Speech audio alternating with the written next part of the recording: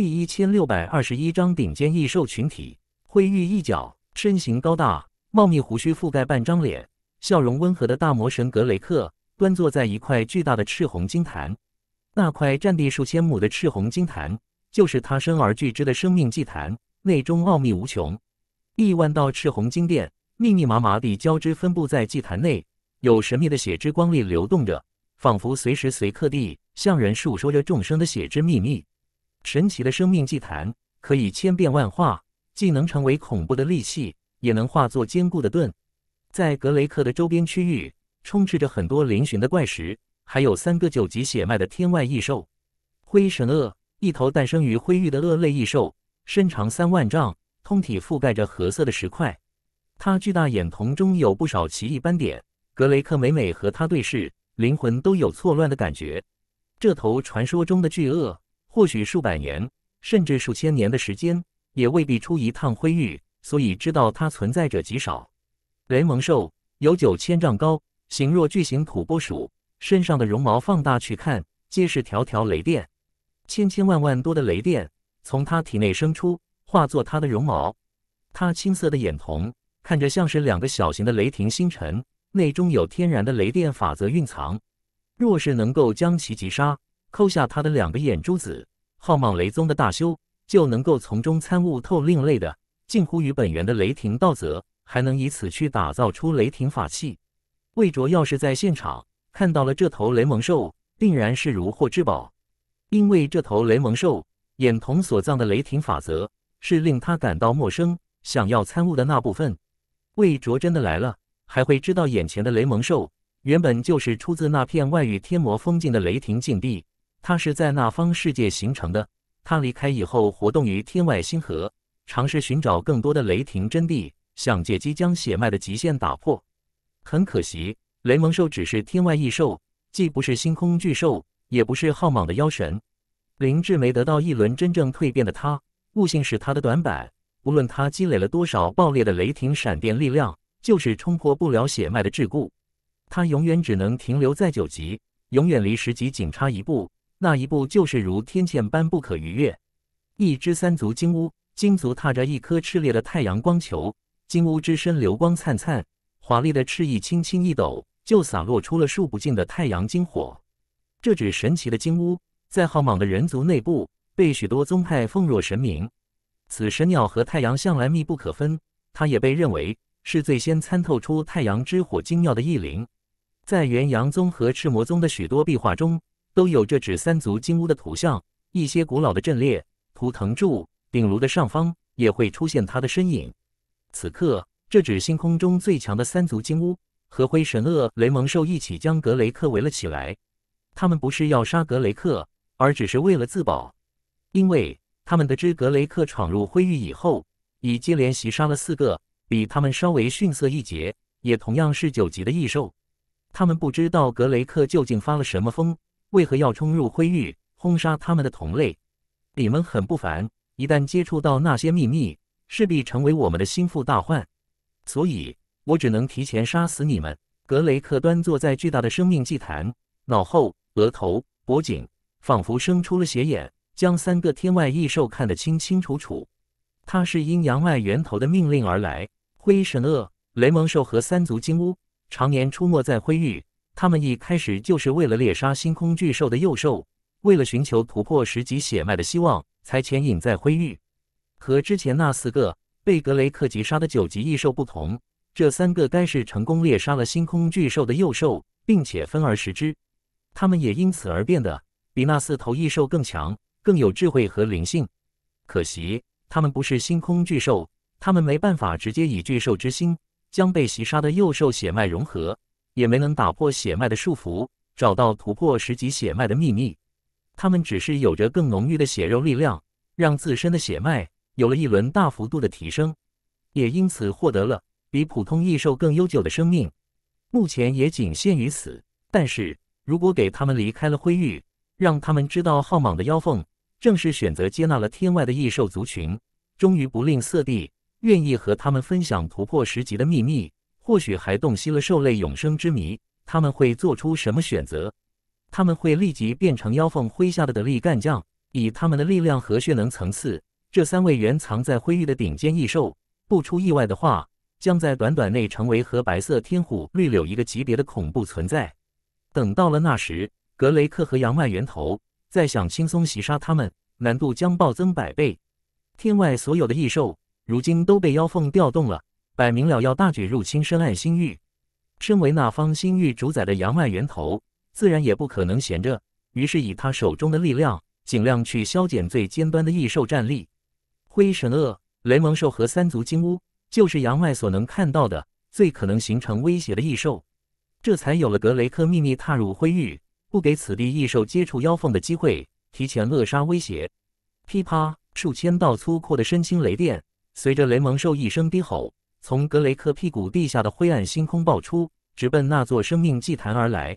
三足金乌的宽阔金色翅翼用力一扑扇，硕大的太阳精华化作无数微型的小太阳，在实质化以后，轰隆隆地砸向那座赤红血晶般的祭坛。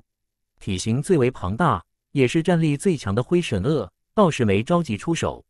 他那有着众多诡异斑点的兽目，只是瞪着格雷克，然后眼眶渐渐深陷。如化作了两个巨型的天坑，他兽目中的天坑看着如混沌出奇时第一层天穹破开的窟窿。神秘的天坑对生灵、对天地法则、对诸多的魂灵都有着一种强烈扭曲之力。血魔虽然也是外域天魔，可他们在灵魂方面的造诣，因后来侧重于血肉的强大，反倒是不如别的外域天魔。因此，格雷克在灰神鳄展现神秘手段时，不由自主地看去。这一看，他的部分血能和灵魂仿佛都要沉沦进去。雷蒙兽的千万雷电，三足金乌的无数太阳火球，尽数被那座生命祭坛挡下，格雷克都能安然无恙。反倒是灰神鳄的两只兽目形成的神秘天坑，让格雷克头晕目眩。另一边，千万里开外，斩龙台安静地悬停。雨渊调集斩龙台的神异力量，凭借更高等级的生命奇奥，定位了格雷克的区域。格雷克在展现力量、将生命祭坛释放的情况下，他在余渊眼中如火炬般耀目。于是，以格雷克为中心，他周边区域的一切场景都被斩龙台照耀了出来。灰神鳄、雷蒙兽、三足金乌、明顿坤只瞥了一眼，就道出了三头天外异兽的来头。余渊，他们和暴熊一个等级，都处于九级巅峰的战力层。他们没能和麒麟、和白色天虎一样晋升。只因为他们没找到适合他们的方法，而这个方法，妖凤应该已经参悟出来了，且如今不再藏私了。格雷克现身于此，就是不想他们活着离开灰域，不想让他们知道妖凤改变了态度，愿意接纳他们，分享自己领悟的血之秘密。明顿坤眼中突现凶厉和贪婪，这三个家伙血能磅礴，仅次于巨兽。我要吞了。第一千六百二十二章截胡灰神鳄。雷蒙兽、三足金乌，这是三头如寒玉雪熊一般强大，同为最顶尖的九级异兽。它们离境阶到十级，差的仅仅只是一种方法而已。这就好比当年浩莽的人族逗留在自在境多年，始终无法越过那道关卡一般。因第一世的他被大魔神贝尔坦斯点拨，找到了以主魂蜕变为元神的方法，才迎来了质变，再以元神融合本源精能，铸造出神未来。从而具备了和龙族叫板的战力。正在和格雷克战斗的那三头顶级的异兽，缺少的也只是晋升的方法。而这个方法，妖凤似乎掌握了，原本一直不肯拿出来分享。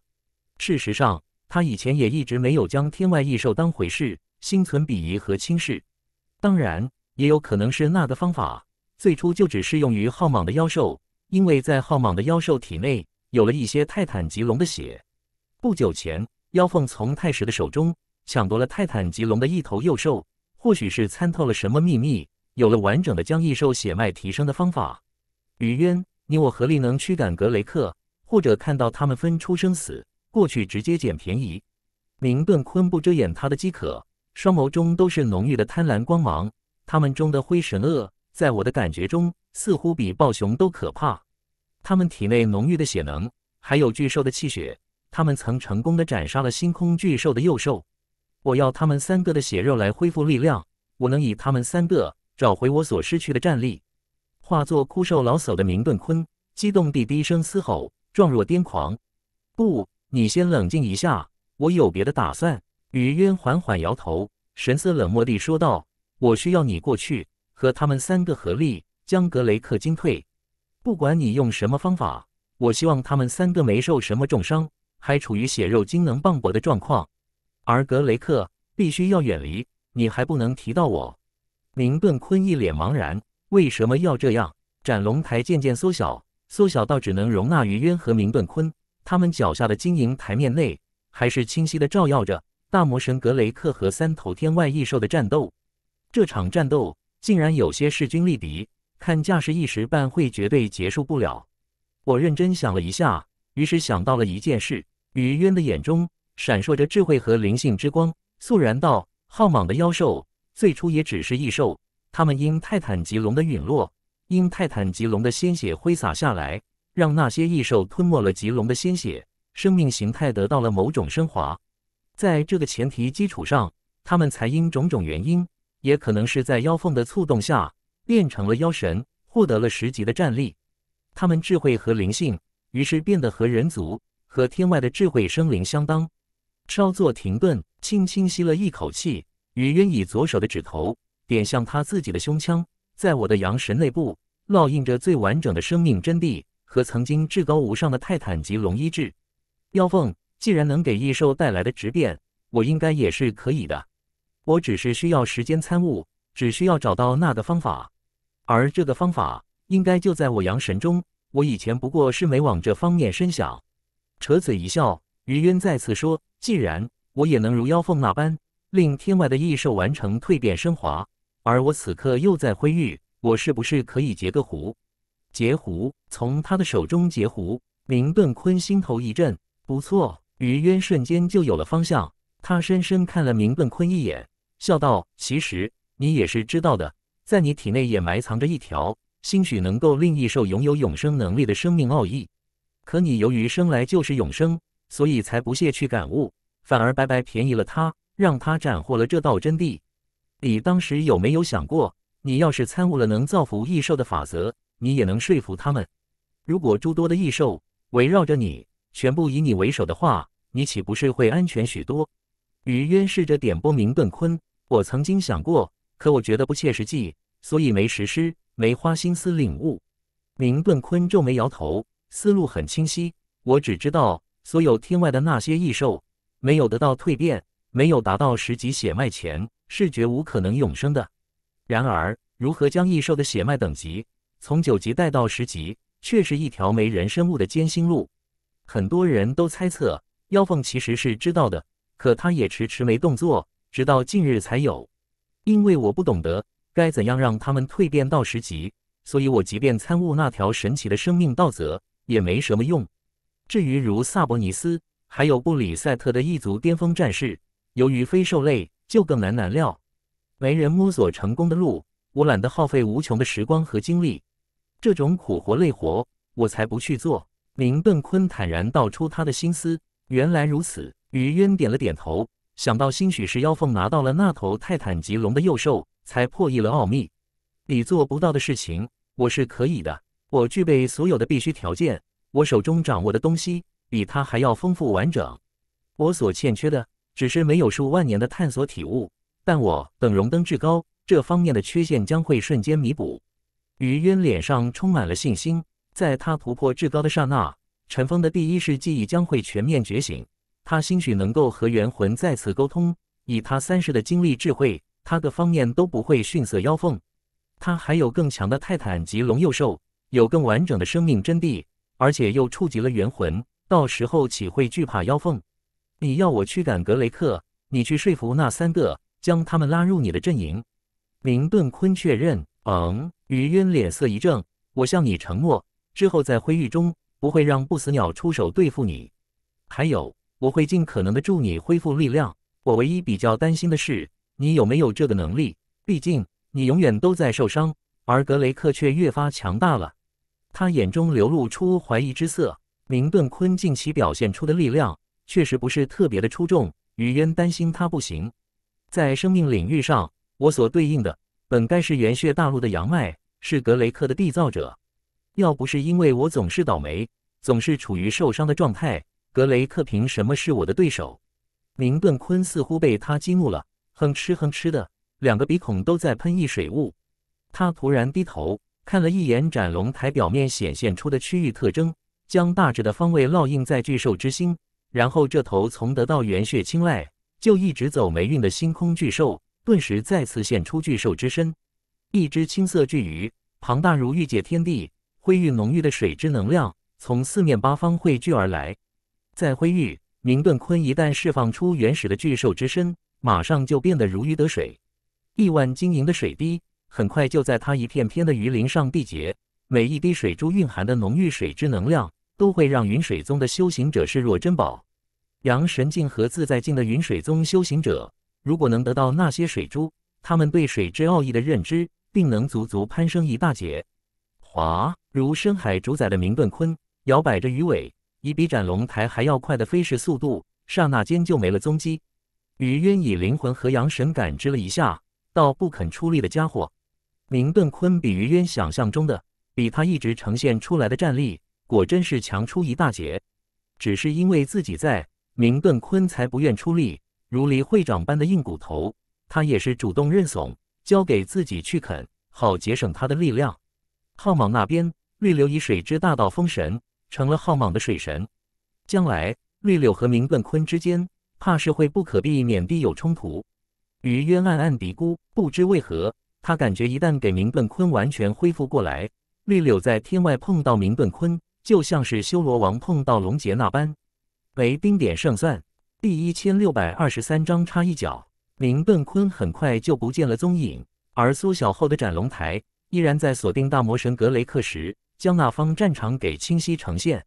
我能看到他，也能感知他，可格雷克却无从探查我。雨渊知道他的阳神，由于被元血淬炼缔造过，他在生命层面上其实远远高于格雷克。加上他又有斩龙台在手，所以才能隔空窥探格雷克。而格雷克虽然是外域天魔族群，可因为他魔魂较弱，并不能洞悉自己的存在。格雷克看不到我，杨麦就不知我也在灰域，也就不会后续及时做出反应，我就有充足的时间去琢磨如何驯化那三头异兽。神魂宗内部要是多了三头十级的异兽，以后和浩莽的各方势力战斗就拥有了底气，不会那么的被动。他们如果可行的话，那头暴熊自然也能因我而晋升到十级。雨渊沉吟时，斩龙台还在呼啸，只是速度没拉到最快。明顿坤消失以后，因没有抵达格雷克的方位，所以没有被他以斩龙台映照出来。可他默默动用阳神的力量，全方面感知时，还是能大体知道明顿坤的位置。实在是因为明顿坤此刻的血能过于浩荡，远远超过那三头九级的异兽。就这般，不知过了多久后，斩龙台倏地停下。雨渊低头一看，就见一赤红一银白的光团，像是日月同现。猛地从斩龙台表面的场景冒出，明顿坤的赤红眼眸有汹涌的太阳之火溅射，他的眼睛比金乌脚下的大了数倍。赤翼金黄的三足金乌分明受到了惊吓，它叽叽地尖叫着，数千米宽阔的金黄翅膀掀起了团团火焰风暴，在那些火焰风暴内，还有许多金光灿灿的火焰精灵，如受他的血脉而短暂生出。巨大的火焰风暴从大魔神格雷克的方位转移。朝着那日月的位置冲去，三足金乌要探一探，到底是来了什么怪物，竟将那么硕大的太阳炼化，变成了一只红扑扑的眼睛。轰！占地百亩的巨大雷球被雷蒙兽从嘴里吐了出来，如从亿万丈的神山滚落下来的恐怖滚石，滚向了尚未显露真容的明顿坤。连专注于对付格雷克的那头最庞大的灰神鳄也被震惊到了。明顿坤还没到。三头顶尖的九级异兽就突然慌乱了。他们合力面对大魔神格雷克时，还都比较从容，没那么的不安。明顿坤化作一片赤红血海的格雷克，就在巨型的赤红祭坛上，他运转着神奇的生命祭坛，将三足金乌和雷蒙兽的连绵攻势化解。雷电、风暴、太阳金火，爆裂的冲击力对他化作的血海，对那座他生而具之的生命祭坛根本造不成影响。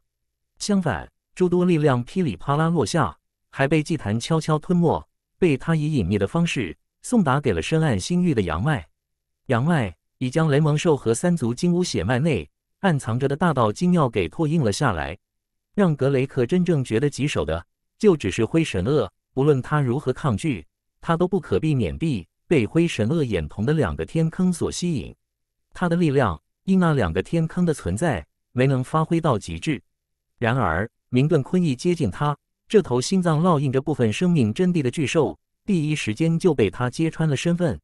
嗷！一声低吼过后，明顿坤在他们的眼中，在于渊脚下的斩龙台内同时浮露出来。身形最庞大的灰神鳄，与形如小天地的明顿坤相比，都显得渺小了许多。雷蒙兽还有三足金乌这种更小一号的异兽，比起一头成年的星空巨兽，就更加不值一提了。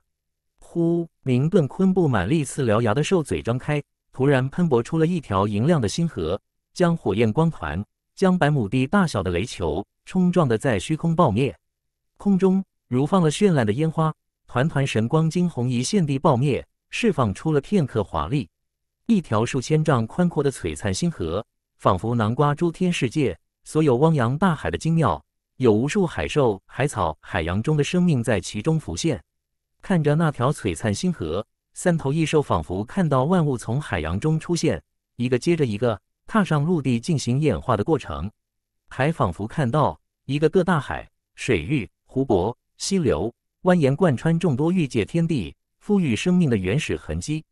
水之大道，生命的诞生，两种神奇的力量道则，仿佛尽在那条璀璨星河，正被尽情地演绎着神奇。哗啦一声，这条让人觉得要目的璀璨星河，将大魔神格雷克化作的赤红血海，还有那座庞大的赤红生命祭坛。瞬间冲击推动到了数千里外，格雷克哼了一声，道：“明顿坤，我的闲事你最好少管。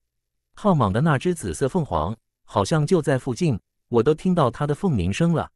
你三番五次地动用了至强力量，应该已经被它盯上了。”明顿坤阴森森的声音铺天盖地响起，在三头异兽旁，也在那条继续滚荡的璀璨星河中。格雷克，你快逃吧！迟了可未必能逃得掉。这话一出，格雷克猛地化作血魔族的常规形态，站在了广阔无垠的血色祭坛。他血红的眼眸深处露出了一丝惊悸，分明感到害怕了。他也隐约感应出了，似乎当真有什么更高等级的存在在暗地里注视他。他并不知道，其实是于渊以自己的阳神调用斩龙台的力量，隔空看着他和三头异兽的激烈战斗。他还以为。真是妖凤提前想到了杨迈的图谋，也早就知道在灰域里面有灰神鳄、雷蒙兽、三足金乌这种最适合引导、最有可能在短期突破的十级者。他以为妖凤就在附近，浩莽妖凤格雷克真的慌乱了，都不敢去辨别此消息的真假。当他发现明顿坤插手，并且在阻止自己袭杀三头异兽后，他终于萌生出退意。你是我见过的最胆怯。最没有底线的星空巨兽，明顿坤，你真可悲！你被他镇压在新境海域多年，你不仅没想着报仇，还变成了他的走狗，选择忠于他。格雷克和他脚下的血色祭坛朝着另外一个方向疾驰，放弃了原计划。呃，本想解释一两句的明顿坤，只发出一声错愕的低呼，然后就看不到格雷克了。格雷克误会了他，以为他阻止格雷克杀那三头顶级异兽。是为了讨好妖凤，为了避免自己的死亡，不是这样的。渐渐收缩体型的明顿坤自言自语了一声，见那头巨大的灰神鳄要施展眼瞳现出天坑的秘术，喝道：“你要是不想死的话，就给我安静一下。”他的一声沉喝，令灰神鳄犹豫了起来，没急着下手。你们等着吧，我给你们引荐一个人。明顿坤重新化作枯瘦的老叟，站在了雷蒙兽的身旁。他高挺的鹰钩鼻动了动，嘀咕道：“还好，你们三个由于曾经分食过一头幼兽之身，你们相互间一直紧挨着，缔结了同盟。不然，格雷克一个个地杀下去，你们都会死。异兽无法和浩莽的妖族般口吐人言，他们只能释放灵魂情绪。”雷蒙兽低声嘶吼了一下，询问明顿坤带回来的是谁？是人，浩莽的人族。这话一出。明顿坤注意到三头巅峰的异兽，眼瞳中满是疑惑和不解。人族在灰域处处受压制，除非是至高者。因灰域环境的恶劣艰辛，因有元神至高陨落过，已太多年没出现过这样的家伙。三头常年躲在灰域的异兽，对浩莽的人族也都有点不以为然。浩莽的人族再强，也只是在外界，在灰域里面可不是这样的。第一千六百二十四章以太虚之名，明顿坤忽然感到担心。这三头灰玉的异兽，在他说起人族时，显得很是不以为然。他想着待会于渊到来，要如何才能说服这三头异兽，令他们相信于渊有能力。帮助他们突破血脉如今的极限。毕竟他们乃天外的异兽，他们和浩莽的妖凤本是同类，于渊却是人族，在他们来看是异类。妖凤的赫赫威名流传极广，如他们般的异兽，骨子里对妖凤就有些敬畏和崇拜。以前的时候，也是妖凤瞧不上他们，不愿意接纳他们，他们就是想跪舔妖凤，妖凤都不带搭理的。当妖凤愿意放低身段，愿意包容他们。还愿意给他们指明一条新生之路时，他们怎能抗拒的了？一念至此，明顿坤更加头疼了。他认为，即使于渊拥有更完整的生命真谛，因名头不够响亮，因不是异兽群体，未必就能说服那三头异兽，未必就能将他们拉入到神魂宗的阵营，变成神魂宗的极战力。呼，踏着斩龙台的余渊，在大魔神格雷克离开一阵子后，终于飘然而来。过来的时候，余渊就在考虑，是不是应该立即唤出阳神，以其中生命真谛的玄奥去说服这三头顶尖的异兽。不然，单靠他的嘴，他不觉得他能迅速得到认同。他也稍稍有点头疼，你自己和他们说吧。正犯愁的明顿坤见于渊出现了，赶忙指向那三头异兽，和他们的交流，需要从他们的吼声中去感悟他们想表达的思想。你和暴熊有过来往，这应该难不到你。他们能听懂你的声音，所以明顿坤的话还没说完，呼木显惊愕，轻呼了一声。于渊也愣了愣。灰神鳄、雷蒙兽和三足金乌因他的现身，表现的一个比一个激动。金乌一拍翅翼，化作一道金色光电，直接到了他的面前。他金足下的一轮炼化的微型太阳，也被他给遗忘在了原地。而雷蒙兽的绒毛。突然，嗤嗤地作响，溅射出众多纤细的电光。他那暗含雷霆法则的兽目内满是惊喜和期待。他颤颤巍巍地，略显笨拙地朝着于渊扑去。他的动作和姿态，在于渊的眼中显得有些憨憨的可爱。不知为何，看到这头雷蒙兽的时候，于渊一下子想到了寒玉雪熊，两者的形态有颇多的相似之处。于渊怀疑雷蒙兽也是熊类族群。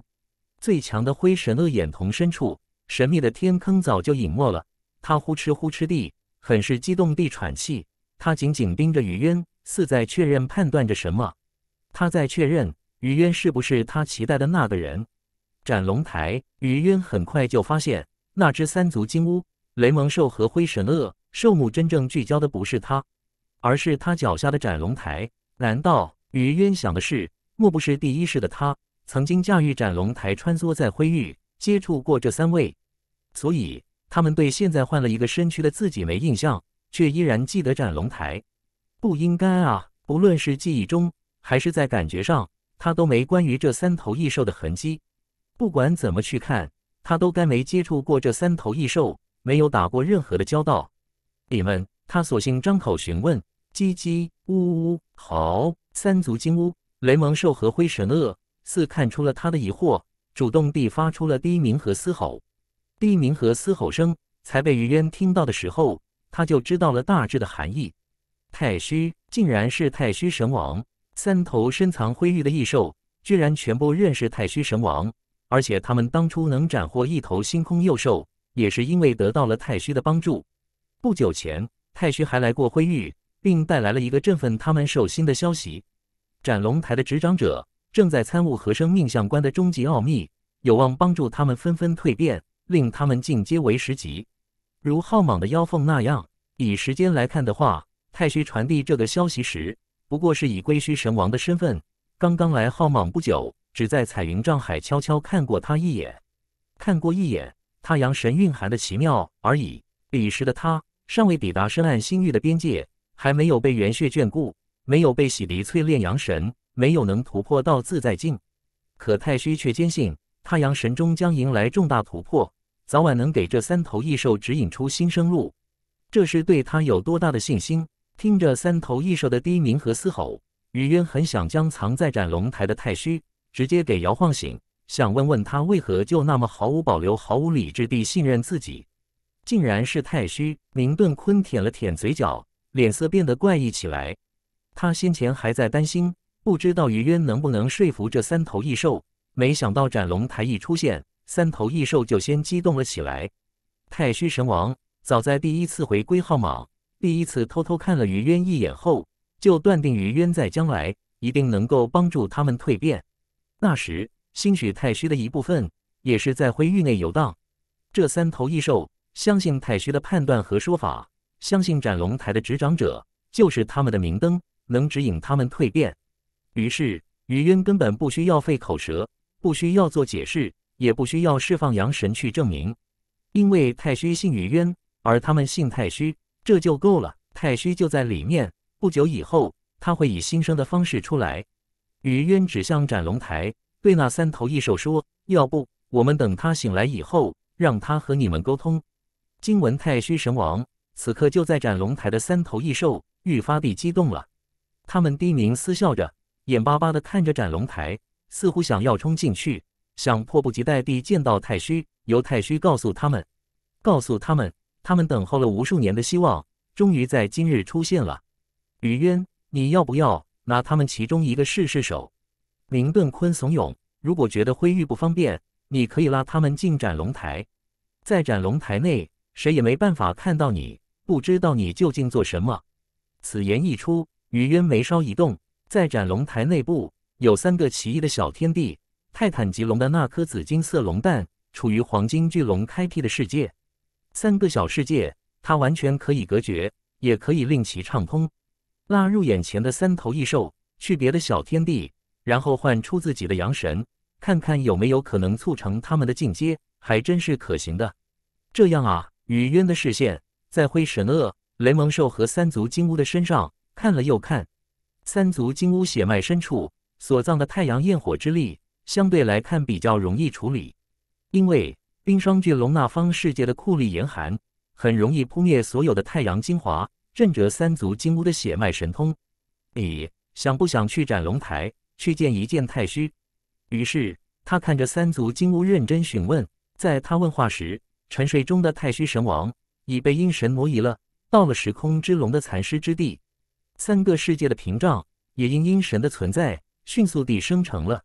金乌反倒略有些犹豫，他真正信赖的只是太虚神王，可他暂时没见到太虚神王。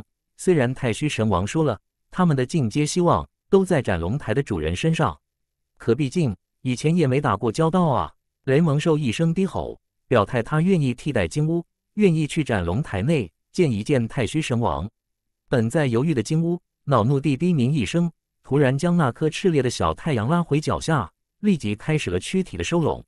没太久，它就缩小了千万倍，化作很多古老典籍上会刻出的金乌形态。他在做好准备后，以燃烧着金色火焰的眼眸看着于渊示意，请进。于渊指向了斩龙台台面上的一个位置，让他飞入其中。金乌化作流光落入。第一千六百二十五章金乌的暴富。银白色的大地。七节色彩鲜艳的龙狮，绵延如起伏不定的山脉，在蜿蜒的龙狮周遭，不时耀出七彩斑斓的神霞，变换成一条条绚烂的光龙，仿佛能够将人拉回逝去的时空。龙狮的上方，偶尔有霞光化作清晰的影像，都是巨龙威严神俊的形态。以前，这头时空之龙的残尸透出一股滔天的恨意，那股恨意针对的是浩莽妖族和如今称霸浩莽的人族。多年过后，那无穷无尽的恨意似乎随着他以中赤诚的身份再生。他对人族的部分变得淡薄许多，可龙狮对妖族的愤怒至今依然浓郁。三足金乌进来不久，便发出了尖叫。萎缩后的他抵达时空之龙的埋尸地，率先看到的自然是七节散落很开的龙尸，然后才是要以安的猎魔区进行重生的太虚。他的尖叫声有着明显的质疑和恼怒。他以为于渊和血魔族的格雷克压根就是一伙的，存心要坑害他。如若不然，为何在斩龙台内部世界有一尊生机浓烈的大魔神？他和格雷克战斗过，他对血魔族的大魔神气息非常的熟悉。安德烈身为血魔族历史上第一代的十级大魔神，那颗跳动着的心脏，还有流淌在血管的鲜血，都有着显著的血魔气味。既然有心跳，就说明安德烈显然是活着的。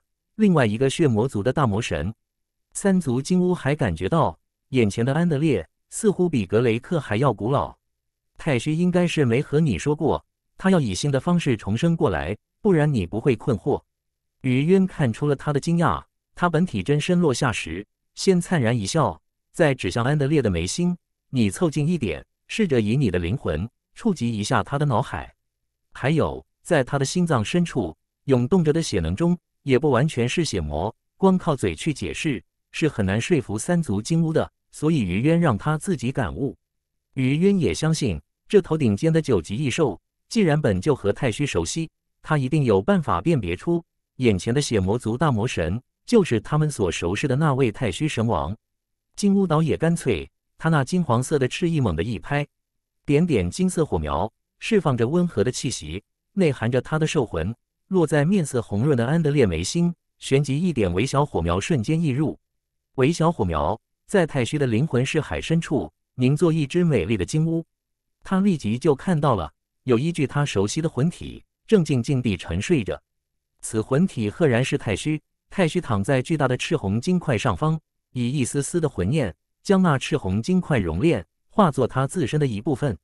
金块之中有密密麻麻的血色光纹。暗藏着天地苍生的生命奇妙，金乌顿时振奋了。他意识到，太虚神王之所以没有醒来，其实是在消化这具大魔神魔躯的秘密，要剥夺炼化魔躯中血脉的精妙。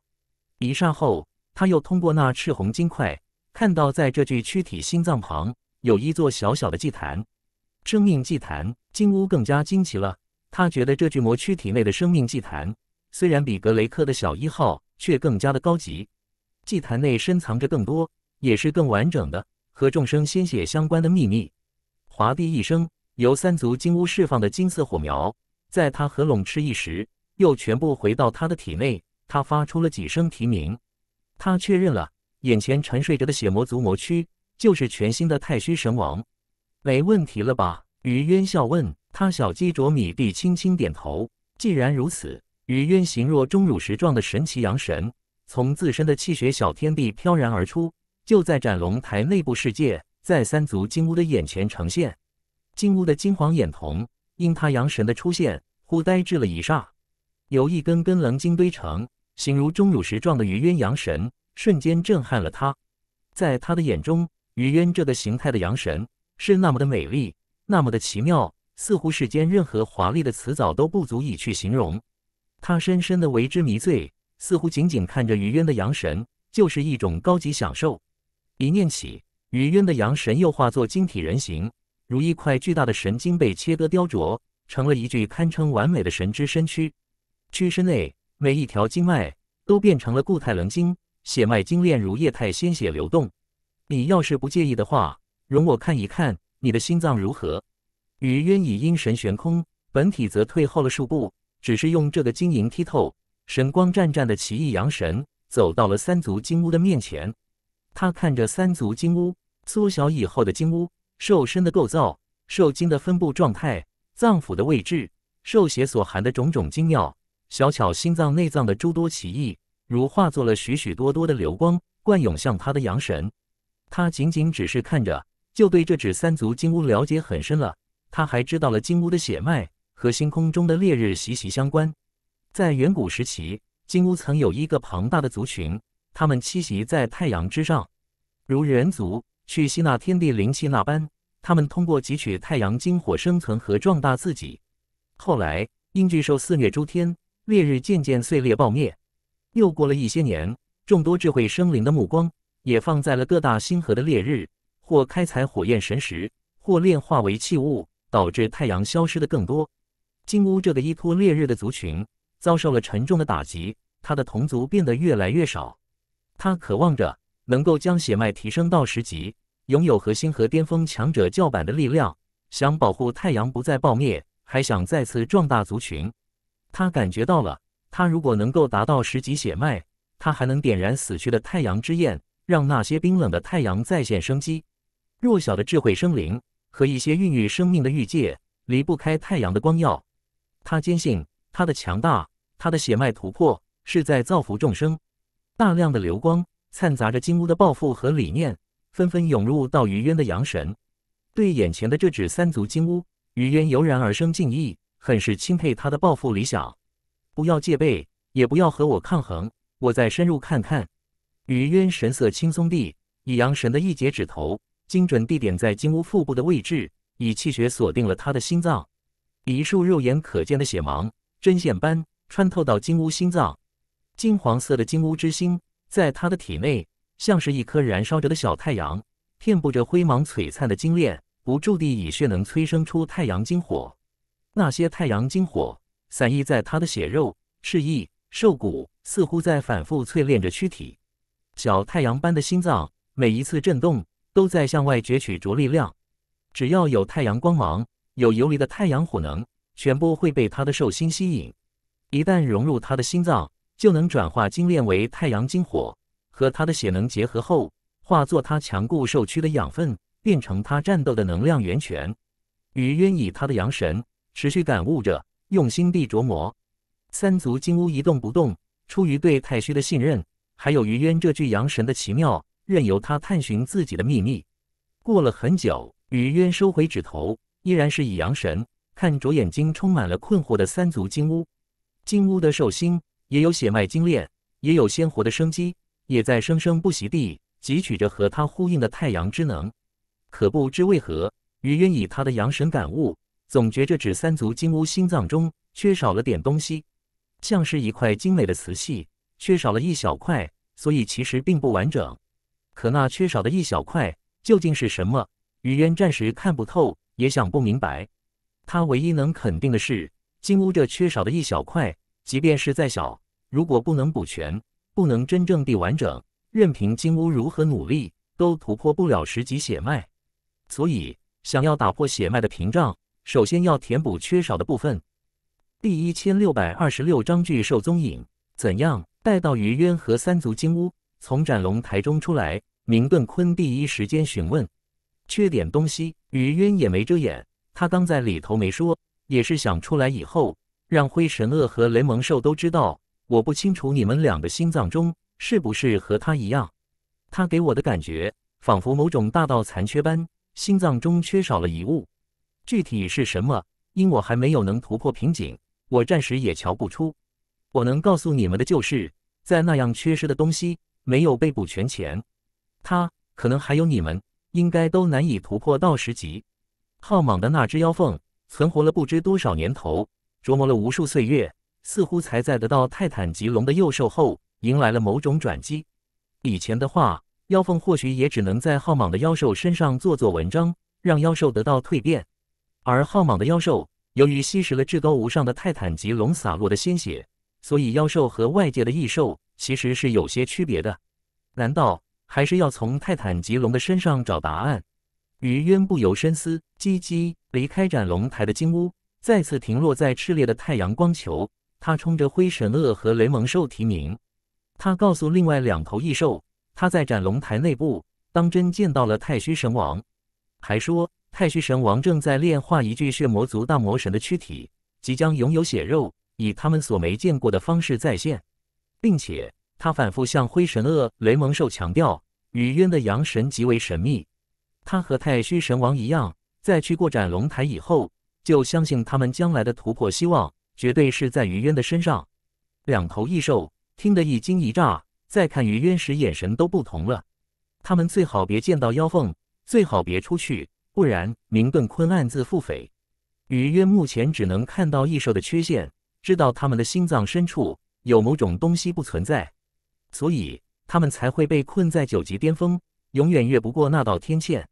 雨渊知道是知道，可现在解决不了。而浩莽的妖凤不仅知道缺陷具体是什么，还找到了解决之道。要是给这三头异兽接触到了妖凤，等妖凤拿出实质性的解决方案，将他们推送到十级的层次，那会是怎样？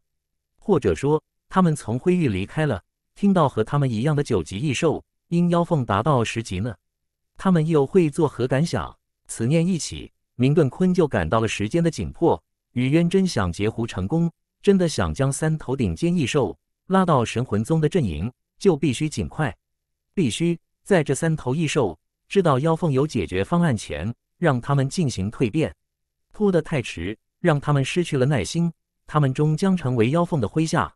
明顿坤对于渊使了一个眼色，悄然传讯给他，让于渊尽量把这三头异兽带在身边，不给他们见到妖凤的机会。待到于渊点头。他又问道：“灰域深处可是发生了什么巨变？”他这次是望着异兽问。三头顶尖异兽面对他的询问，一会儿摇头，一会儿点头，他们似乎说不清楚，好像感觉到了灰域里头有了惊人的变化，可他们又无法肯定。他们在面对明顿坤的时候，表现得有些不冷不热，还暗暗戒备，反倒是对于渊，此刻显得颇为热络，想要主动亲近。你们和我结伴吧，我们去灰域深处看看。我也想一想，看看有没有可能解决你们的血脉桎梏。于渊提议，三头异兽连连点头。之后一阵子，一人、四个异类结伴同行，朝着灰域再次深入。途中，雷蒙兽和灰神鳄缩小了兽区以后，也相继飞入斩龙台，也都见到了沉睡中的太虚神王。同样的，于渊也如探查三足金乌般。看过了他们的兽心，感觉上是一致的。雷蒙兽和灰神鳄让于渊觉得也缺少了什么东西，他们缺少的和三足金乌的大同小异。冥冥中似乎存在着一股力量，对天外的异兽进行限制，让他们无法突破终极。于渊不自禁地联想到了斩龙台，龙族败北，鬼巫宗和地魔沉落以后，神魂宗打造出了斩龙台。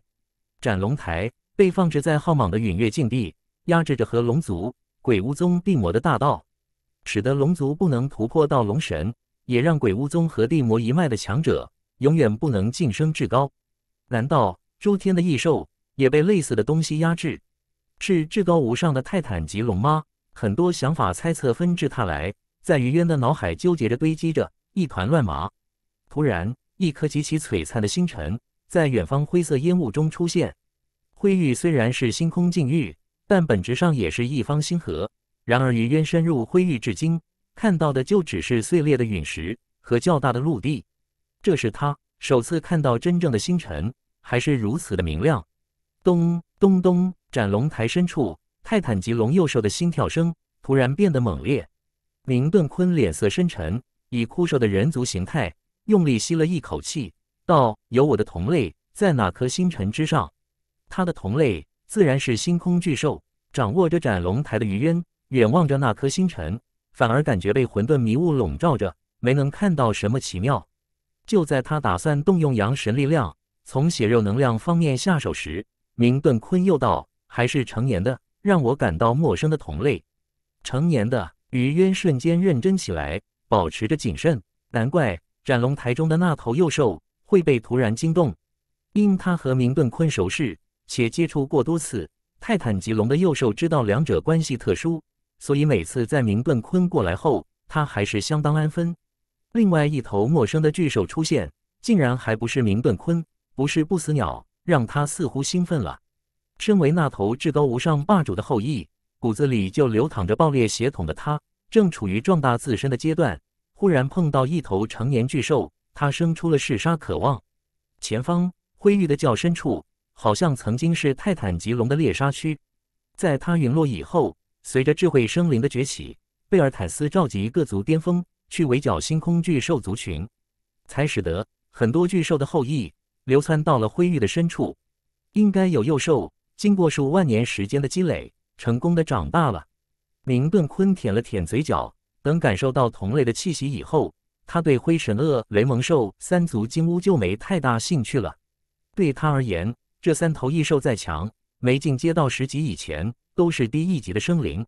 如果是他的同类，一头和他一样成长出来的巨兽，被他给轰杀，被他给吞吃了，将会最大程度的提升他。他不仅能痊愈伤势，还能通过消化对方，斩获对方的血脉，获得一轮蜕变。在血腥的巨兽时代，巨兽的强大和突破都是通过这种原始的杀戮，通过另外一头巨兽的死亡。哗！一块让他眼睛刺痛的明亮祭台从那颗星辰上飞起，着急离去。在祭台上有几道身影让于渊感觉熟悉，可因距离太远，加上灰玉的特殊性，他没能第一时间分辨出是谁。利奥是星族的天之骄子，是利奥的那座生命祭坛。于渊惊愕道：“斩龙台在，他虽然也看不清祭台上的人，可这座奇异的生命祭坛，他是认得的。”看到那座生命祭坛以后，他就知道星族的利奥应该在驾驭着那座生命祭坛，试图从那颗璀璨星辰离开。哧啦，哧哧，一道接着一道的金光，粗如千丈的瀑布，麻绳纽带般缠绕着凌空的生命祭坛，将那座生命祭坛还有上面的人一下子拉了回去。千丈长的金光，在于鸳鸯神的感知下，充满了血肉的生机，似乎是巨兽的触须。第一千六百二十七章被困的星族小队，触须从星辰内部飞出，缠住了那座星辰祭坛后，将其狠狠地拉扯回来。粗阔的金光触须中混杂着浓郁的星空异能，还有不少异族战士的尸骸，远看如鲜艳的斑点，拉近去看就是一具具尸体了。触须一冒出，血肉生机一流露，与鸳鸯神的感应能力瞬间攀升了一大截，原本模糊浑浊的画面。也顿时变得清晰，让他能看到大概。他马上就知道，想要通过斩龙台将感知最大化，要么他的灵魂能锁定那方星辰，能通过磅礴的灵魂磁场进行定位；要么他的阳神可以感知到丰沛的生机，以血肉和生命的气息，将想要看到的东西先摸索到。在没有巨兽的触须伸出来前，他没能嗅到星空巨兽该有的狂暴血能，所以远远看去。什么都会觉得模糊，我分不清到底是巨兽吞食了星辰，还是巨兽在星辰里面。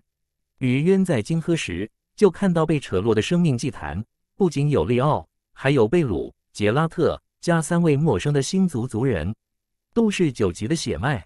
星族排出了一批九级的强者，围绕着利奥，似乎想要图谋这颗璀璨星辰。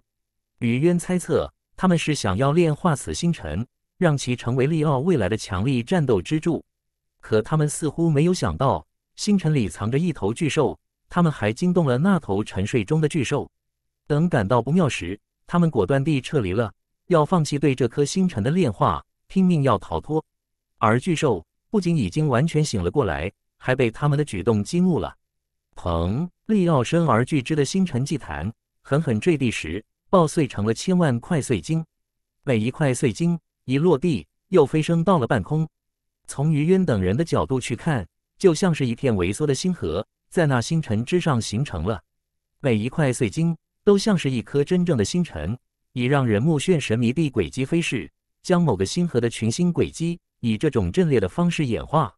神秘的星辉由利奥的星辰祭坛释放，照耀着巨兽藏身的璀璨星辰。星光所至，那颗已被巨兽之血焦灼炼化的星辰。僵硬的大地松动，裂开了许多缝隙，有纯粹的星光喷薄出来。哗啦，星光之中似乎还有巨兽的鲜血。他抽离星光时，连带着将巨兽的鲜血也拉扯出来，算是已经伤害到了巨兽。而他目前还只是九级的血脉，还没有如巴罗般达到十级。有着群星之子美誉的利奥，当真是万界星辰的宠儿。他以他的血脉力量，强行切割巨兽和星辰的连接。让巨兽染血虚空，而这时，于渊看到在灿然星光下，贝鲁、杰拉特还有三个九级的星族族人各自取出法器，激发血脉精妙，然后他们一个接着一个化作星辰悬于半空。这一刻，他们如成了利奥欲动的星辰，成了利奥那片星辰海的组成部分。他们甘愿被利奥所用，对利奥充满了信任，坚信只有听命于利奥，以群星阵列。才能抗衡下面的神秘巨兽。呜呜呜呜！雷蒙兽低低咆哮，兽目中露出雀意，似乎不愿靠近那块璀璨的星辰。他对藏在里面的陌生巨兽也充满了恐惧。灰神鳄的兽目没有神秘天坑出现，满是肃然。三足金乌默不作声，金色的爪子紧紧扣住燃烧着的烈日金球，也在轻声啼鸣，询问着于渊的态度。看金乌的架势，只要情况不对，他要抓着烈日光球飞走。你怎么说？于渊扭头看向跃跃欲试的明顿坤，利奥那些家伙不是你的朋友吗？明顿坤咧开嘴，残暴狰狞的一面赤裸裸地暴露。那头让我觉得陌生的同类，不是我们那个时代的产物。他呢，应该是从幼兽的形态，在灰域一步步地突破成长，才变成现在这样的。明顿坤看了一眼灰神鳄、雷蒙兽和三足金乌，冷笑道：“你们倒是很识相。这三头九级异兽曾经因太虚神王的帮助，猎杀了一头幼兽，并分而食之，从而让他们比别的异兽强了一截。可是，即使是星空巨兽的幼兽，他们也需要太虚神王的帮助。一头长大的成年的星空巨兽，根本不是他们三个能对抗的。所以，等他们知道在那星辰里面。”藏着的是成年巨兽，他们立即露出了惧意，只想躲得远远的。走喽，让我们见识见识一头成年的星空巨兽究竟有着什么样的力量。于渊一马当先，真正的星空巨兽，他接触过明顿坤，还有不死鸟女皇，这两个都比较特殊，一个永远重伤未愈，从没有真正恢复过来；另外一个在涅槃重生以后，虽然也持续地壮大，可似乎同样没抵达巅峰。所以，雨渊也很想知道，一头成年的星空巨兽和天外的那些十级强者，和浩莽的妖神相比，到底哪个更厉害点？藏在星辰中的巨兽，居然还懂得收敛自身的血能，没有将触手释放出来前，于渊的阳神都没感应到。他的阳神感觉不出，利奥还有贝鲁那些人在星辰之上就更加不清楚了。就像赤魔宗的张金博般。以遁术转移到一座火焰汹涌的山川，以此恢复了伤势，突破到自在境中期。然后张金博撬开山川的内部，居然撬出了血水。利奥等人应该在熔炼这颗星辰，要将其炼化据为己有时，触碰到了那头巨兽。想到这儿，于渊嘴角不要浮露出笑容。他能想象利奥、贝鲁等人惊奇地发现，他们正在星空巨兽的头上动土时。那种惊骇的表情，斩龙台，于渊千百里开外，群星之子利奥大声疾呼，对贝鲁、对杰拉特嚷嚷道：“我看到了斩龙台，是于渊向我们飞来了。”咦，还有，还有明顿坤，又是一头巨兽。利奥以呻吟般的语调说出明顿坤的名字时，突然就看到脚下的明亮星辰，竟猛地一震。藏在里面的巨兽没有听过余渊，却听过明顿坤。轰隆！璀璨的星辰，蓦地传来地动山摇的震动，星辰中的巨兽像是活动起了兽躯。旋即，大家就看到一颗明亮的星辰从静止的状态忽然开始了飞逝。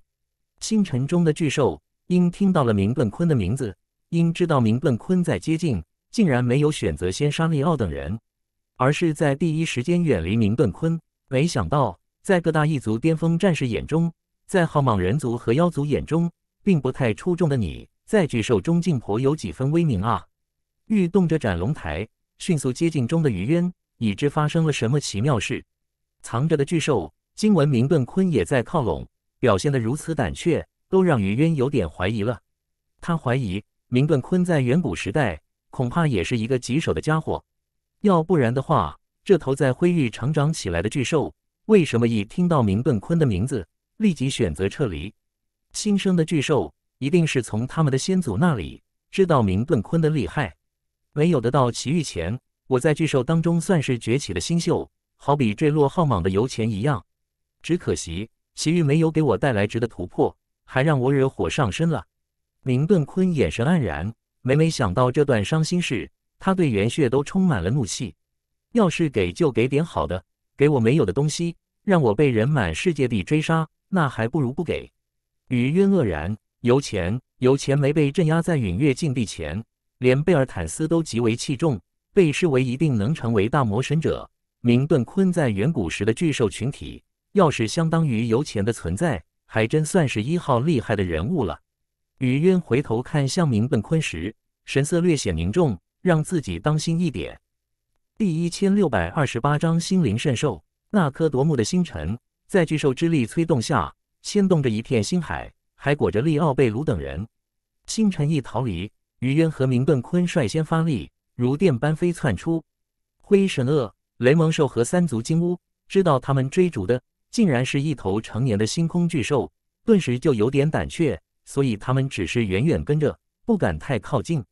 呼，眼看着那颗璀璨星辰离他们越来越近，星辰却在他们的眼皮子底下凭空消失。踏着斩龙台的余渊倏地停下，惊讶道：“巨兽呢？”明顿坤沉吟几秒，冷静地说：“他和那颗星都不会突然消失，定是有别的情况。没有空间之力激发，斩龙台就在脚下。余渊可以肯定，在那星辰逃离的区域，并没爆出任何空间力量，所以那颗消失的星辰。”还有利奥一行人绝不是通过空间进行瞬移，这就说明那颗先前明耀的星辰是以他们不清楚的方式藏了起来。其实星辰应该还在他们前方附近某处。哗哗哗！忽然间，雨渊仿佛听到了大海的浪涛声，他愣了一下，忽然看到一颗湛蓝色的星辰毫无预兆地浮现出来，那是浩莽。曾在戒壁之外，眼神迷醉地凝望过浩莽的余渊。一眼就认出了蓦然冒出的湛蓝色星辰就是他的故土，不可能！余渊下意识地就摇头了，怎么都不会相信，远在星河另一端的浩莽能够被那头星空巨兽撬动着拉扯到灰域。诸天万界，没任何生灵有如此惊天伟力，能将浩莽横空挪移亿万万里。大魔神贝尔坦斯也没这样的能力，是幻境。明顿坤冷笑，看到那颗令他蒙受屈辱的湛蓝星辰。听到海水的流动声，他突然想起了什么。余渊，我大概知道藏在那颗璀璨星辰里的家伙是什么来头的同类了。什么？余渊问道。他叫什么？我们待会再说。你只需要注意一点，他能轻易地制造出幻境，你要保持心灵澄净，不被他给迷惑。明顿坤的嘴角勾起了残忍的狞笑。难怪一听到我的名头，跑得比兔子都要快。应该是你的先祖。和你说过我的名头，所以你在知道遇到的是我后，觉得很倒霉是吧？讲话时，刚刚还是人族枯瘦老叟的明顿坤，化作了一尾扁平状的青色小鱼，没再让鱼渊先行。这一尾青色的小鱼摆了摆鱼尾，不知拨动了什么波澜，竟直接出现于那颗湛蓝色的星辰，出现在了凭空浮现的号码。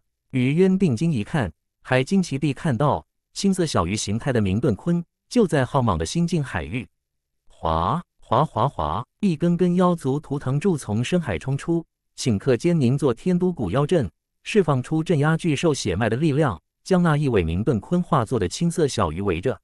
扑通一声，明顿坤化作的小鱼落水。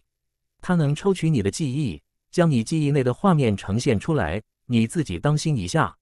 记得，你生命中每一个耻辱无力的时刻，它能够找出来。刻意地改变结局，比原本艰难战胜的对手在幻境内或许会更强。被打入心境海域的明顿坤还飘出了声音，告诉于渊那头巨兽的能力。明顿坤最耻辱的时刻之一，就是他被妖凤以天都古妖镇压在心境海域，多年也逃离不出。记忆，于渊神色茫然，一个恍惚后，他发现他突然置身于地火山脉，看到了师兄钟赤尘，随后。他知道他在一枚流光溢彩的硕大丹丸内，丹丸中雷电交织，神光熠熠，内有九条火焰丝线穿梭。轮回丹，这次你活不了的。师兄钟赤尘脸色冷漠，用一种他必死无疑的目光看着他。轮回丹不能将你送往轮回之路，它只会断绝你魂魄再现的希望。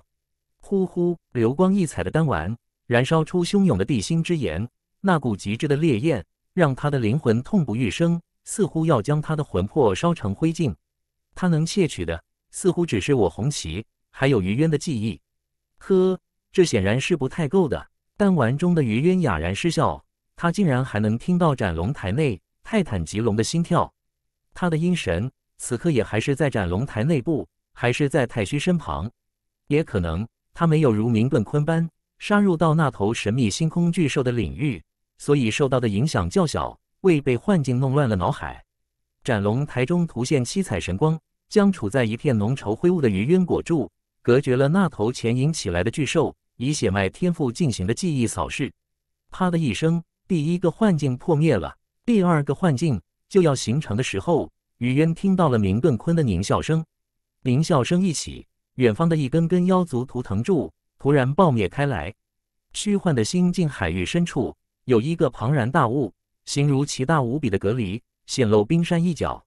大隔离的贝壳上，如有众多星辰闪耀，将它衬托得非常美丽。狞笑中的明顿坤现出了青色巨鱼的原始巨兽形态，直接扑向那个美丽的贝壳上刻印诸多繁星的大隔离。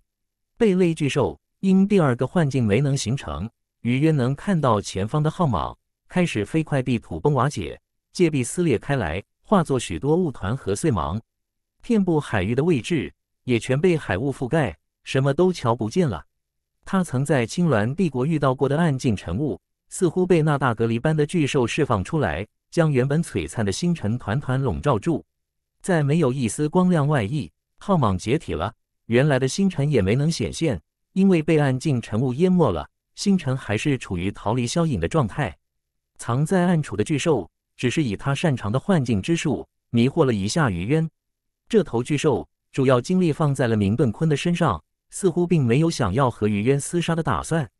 呜呜呜！在于渊发呆时，雷蒙兽靠了过来，望着被暗境晨雾遮蔽了的星辰，他低低叫了两声，大意就是明顿坤似乎能克制这个星空巨兽。让于渊不用太担心，不用他提醒，在于渊看到那个星空巨兽像是一个巨大的隔离，擅长的天赋和血脉是制造重重的幻境时，他也觉得明顿坤能赢。贝类形态的巨兽似乎扎根于深海，遇到水之领域的霸主，应该会毕竟吃亏吧？于渊暗暗想。轰！哗啦哗啦，一片明亮星海在暗境晨雾中耀出，让于渊以斩龙台看到了内中场景。利奥、贝鲁还有杰拉特等星族强者，此刻居然在围攻明顿坤。星族的这些战士，因那头巨兽将血脉天赋尽情释放，如被瞬间拉入到幻境，已经不知他们原来的敌人是谁了。利奥等人各自处于不同的幻境，在他们来看，他们正在面对生命中最可怕的对手，他们不敢保留力量，甚至是在透支血能。杰拉特还有那三个星族战士。全部将精血激发了，利奥身上的披风又化作一片星辰海，他的那座生命祭坛从逃生的利器变成了攻击神兵，化作一座恢宏的星辰宫殿，开始撞击明顿坤。星族的族人在明顿坤落下后，将他当做了苦大仇深的敌人。明顿坤没被幻境影响，可他们几个全部中招了。再然后，等于渊发现雷蒙兽不再吭声时，他转身一望。就见雷蒙兽、灰神鳄和三足金乌也状若疯狂地扑向了暗境晨雾中的星辰，在他们的眼中，明顿坤似乎成了格雷克，杀了他们同伴，又要杀他们的格雷克。心灵圣兽第一千六百二十九章考点逆袭。心灵圣兽明顿坤的怪叫声从暗境晨雾深处响起，道出了这头奇异巨兽的名字。听到“心灵圣兽”四个字时，于渊突然生出了一种熟悉的感觉，他似乎在什么地方听人说起过这头巨兽。可是当他真的费心去想时，却发现又毫无头绪。应该是见过，有印象。于渊暗暗嘀咕，眺望着被暗境晨雾遮蔽之地，犹豫要不要立即闯入。停下！他突然高喝，因为灰神鳄、雷蒙兽和三足金乌已经奋不顾身地冲入到了暗境晨雾的深处。仿佛里面有他们的死敌，必须要马上灭杀。而明顿坤的怒笑声因这三头异兽的加入，变得愈发刺耳了。此刻，于渊在如何动用阳神之力，即使将斩龙台的探知能力发挥到极致，依然不能看透在暗境晨雾的深处究竟发生着什么。他感到奇怪的是，大隔离形态的心灵圣兽对他只进行了一轮幻境的试探。第一轮幻境泡灭，一看没能奏效。心灵圣兽就当机立断地转移了目标，将目标锁定在灰神鳄、雷蒙兽和三足金乌的身上，也让三头异兽顷刻沦陷，变成帮助他对付明顿坤的战力之一。不入其中，似乎难以窥探其玄奥。他知道以那三头异兽的力量，即使加上利奥等人，也没可能短时间轰杀明顿坤，所以他倒是并不急躁。于是他踏着斩龙台，不慌不忙地靠近暗境晨雾。浓郁的暗境晨雾成了一片灰茫茫的神秘地带，朝着各式星空异能吞没的时候，这片异域还处于飞速移动的状态，却因为明顿坤已经到了，因为心灵圣兽要另外花费心思对付他，不能专注在逃离上，使得那暗境晨雾的飞逝速度不算快。于渊没多久就追了上来，破脚下的斩龙台，以金色锋芒的一端破开暗境晨雾后面的无形界壁，带着于渊瞬间闯入其中。在灰雾朦胧的天穹下，于渊踏着斩龙台现身。他低头一看。广袤的深海中，现出巨兽形态的明顿鲲，以他鱼鳞和鲜血化作的密集银亮鱼群，正在搜寻那头神秘的心灵圣兽。银光灿灿的鱼群，在仿造新晋海域的海水中，时而聚涌，时而分散。明顿鲲则是以类似人的形态，站在一座岛屿上方。他看着漫天的碎星，如网一般笼罩过来，冷声道：“一群没用的废物。”此刻的明顿鲲高千丈。通体鳞甲如寒铁，它有着人族枯瘦老叟的面容，而后颈到背脊处却有棱刺般的鱼鳍。它也有手有脚，只是手脚显得锋利，看着如外域星河中快绝迹的鱼人族族人。呼，在深海中，一片巨大的贝壳，仿佛是心灵圣兽曾经脱落的，受到明顿鲲的血脉力量吸引，被海水推动了出来。边沿锋利的贝壳瞬间成了明顿鲲的利刃，他抬手一指。比他脚下的岛屿都要庞大的贝壳，化作锋锐的轮盘，绽放出刺目的光辉，旋转着飞向受幻境影响的星族族人。利奥、贝鲁和杰拉特之外，另外三个九级的星族战士顿时血肉飞溅。星族战士的鲜血如星辰颗粒般明耀，一滴滴洒落下来，坠落海水。本在搜寻心灵圣兽的那些银亮鱼群，马上开始疯抢吞食。与人族形态的明顿鲲，则是舔了舔嘴角，咧嘴怪笑。他像是在大餐前吃了一些小点心，食欲刚刚被激发出来。另外三个不要！与渊高喝一声，那飞旋中的贝壳已将陌生的三个星族战士切割成了碎尸。九级星族战士的尸体从半空中抛落到深海，被鱼群疯狂撕咬。海中的鱼群是以明顿鲲的鲜血和鱼鳞形成的。还不是他的巨兽精魄，可即便如此，那些鱼群吞食了生机浓郁的血肉，也能反哺他的本体，让他能更快地恢复，让他能拥有更多的力量。不死点人，他们没那么容易醒来。在直面死亡时，很多人能破掉迷障，能重现清明。大开杀戒的明顿鲲此刻咧嘴怪笑。心灵圣兽在之前的时候都没有动用血脉天赋，只是以寄生在他体内的海藻。缠绕着那座星辰祭坛。嘿，我猜利奥这些家伙将他的心灵神石误以为是星辰神经了。心灵神石于渊愕然，在心灵圣兽的贝壳里形成出来的一种神石，神石放在星辰里面温养，会有诸多的奇妙。明顿坤随口解释了一句：“哗哗哗！”远方另一片深海，灰神鳄、雷蒙兽和三足金乌被巨量的海水压着，在深海内扑腾着。竟然摆脱不了大海的封禁，明显被心灵圣兽影响，将明顿鲲视作格雷克的他们，居然连靠近明顿鲲都不能。咚咚咚，三颗星族族人鲜活的心脏在尸身飞离以后，竟暴露在空中。心脏的表层有一滴滴晶莹剔透的水珠，锁着了心脏中的生机，将最浓郁的血肉精能裹着。明顿鲲张口一吞，三颗心脏如星而落，直接滑落他的食道。他此刻的体型也颇为的庞大，他吞下那三颗心脏时，就像是吞下三颗小石子。醒来，吞了星族三位九级战士后，他瞪着利奥、贝鲁和杰拉特，突然一声暴喝。三位在星族地位非凡的强者，眼瞳中的迷茫似乎被一下子扫清了。于渊比上次要苍老一些的贝鲁惊醒过来后，先大叫了一声，旋即感受到同伴的心脏。正被明顿鲲咀嚼消化，明顿鲲的嘴角还有星光溅射，星光便是血光。明顿鲲贝鲁立即知道发生了什么，马上愤怒地尖叫。群星之子利奥和易幻星域的统治者杰拉特同样怒视着明顿鲲。要怪，只能怪他们心智不够坚韧。明顿鲲满不在乎，他随意抹了一把嘴角的血迹，残忍地怪笑。他此刻的大手如鱼的棱刺般尖锐。要不是于渊吆喝了一声，不只是他们三个，就连你们，我也一并吞杀了。星族呵呵，你们以前的族长还有巴罗都对我下过手，我杀你们星族一些人，吃你们几个九级战士，全当是讨要点利息了。他血肉能延寿的秘密被人所知以后，各族的巅峰战士为了能活得更久一点，都曾想方设法地去围剿他。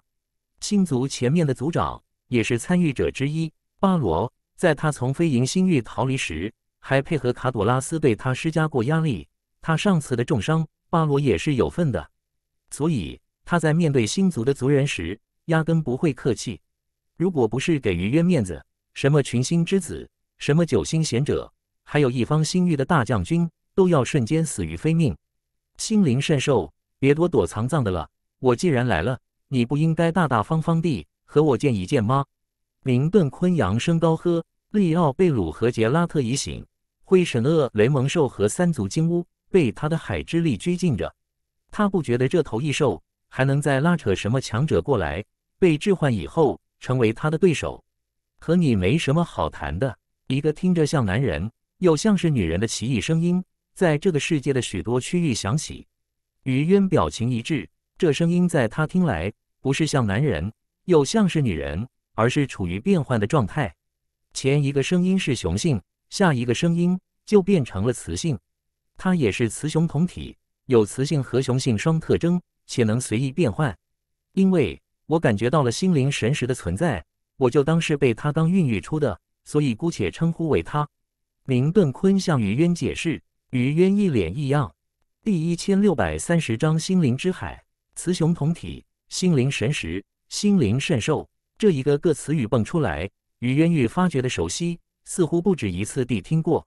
和他遇到灰神鳄。雷蒙兽还有三足金乌时的陌生感不同，这头神秘的星空巨兽，他或许是真的认识。根据太史的说法和他自己进入灰域时的感受来看，他猜到第一世的那个他是到过灰域的。灰神鳄、雷蒙兽和三足金乌因为是异兽，所以寿命是有限的，兴许接触不到第一世的那个他。而星空巨兽却拥有着无限的生命，只要不是非自然死亡，就能永远存活。脸色异样的余渊目露深思，却没有着急表态。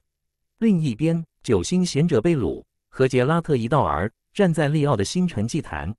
年龄较大的贝鲁、杰拉特抓住利奥的胳膊，冲着他不断摇头，正在劝他冷静。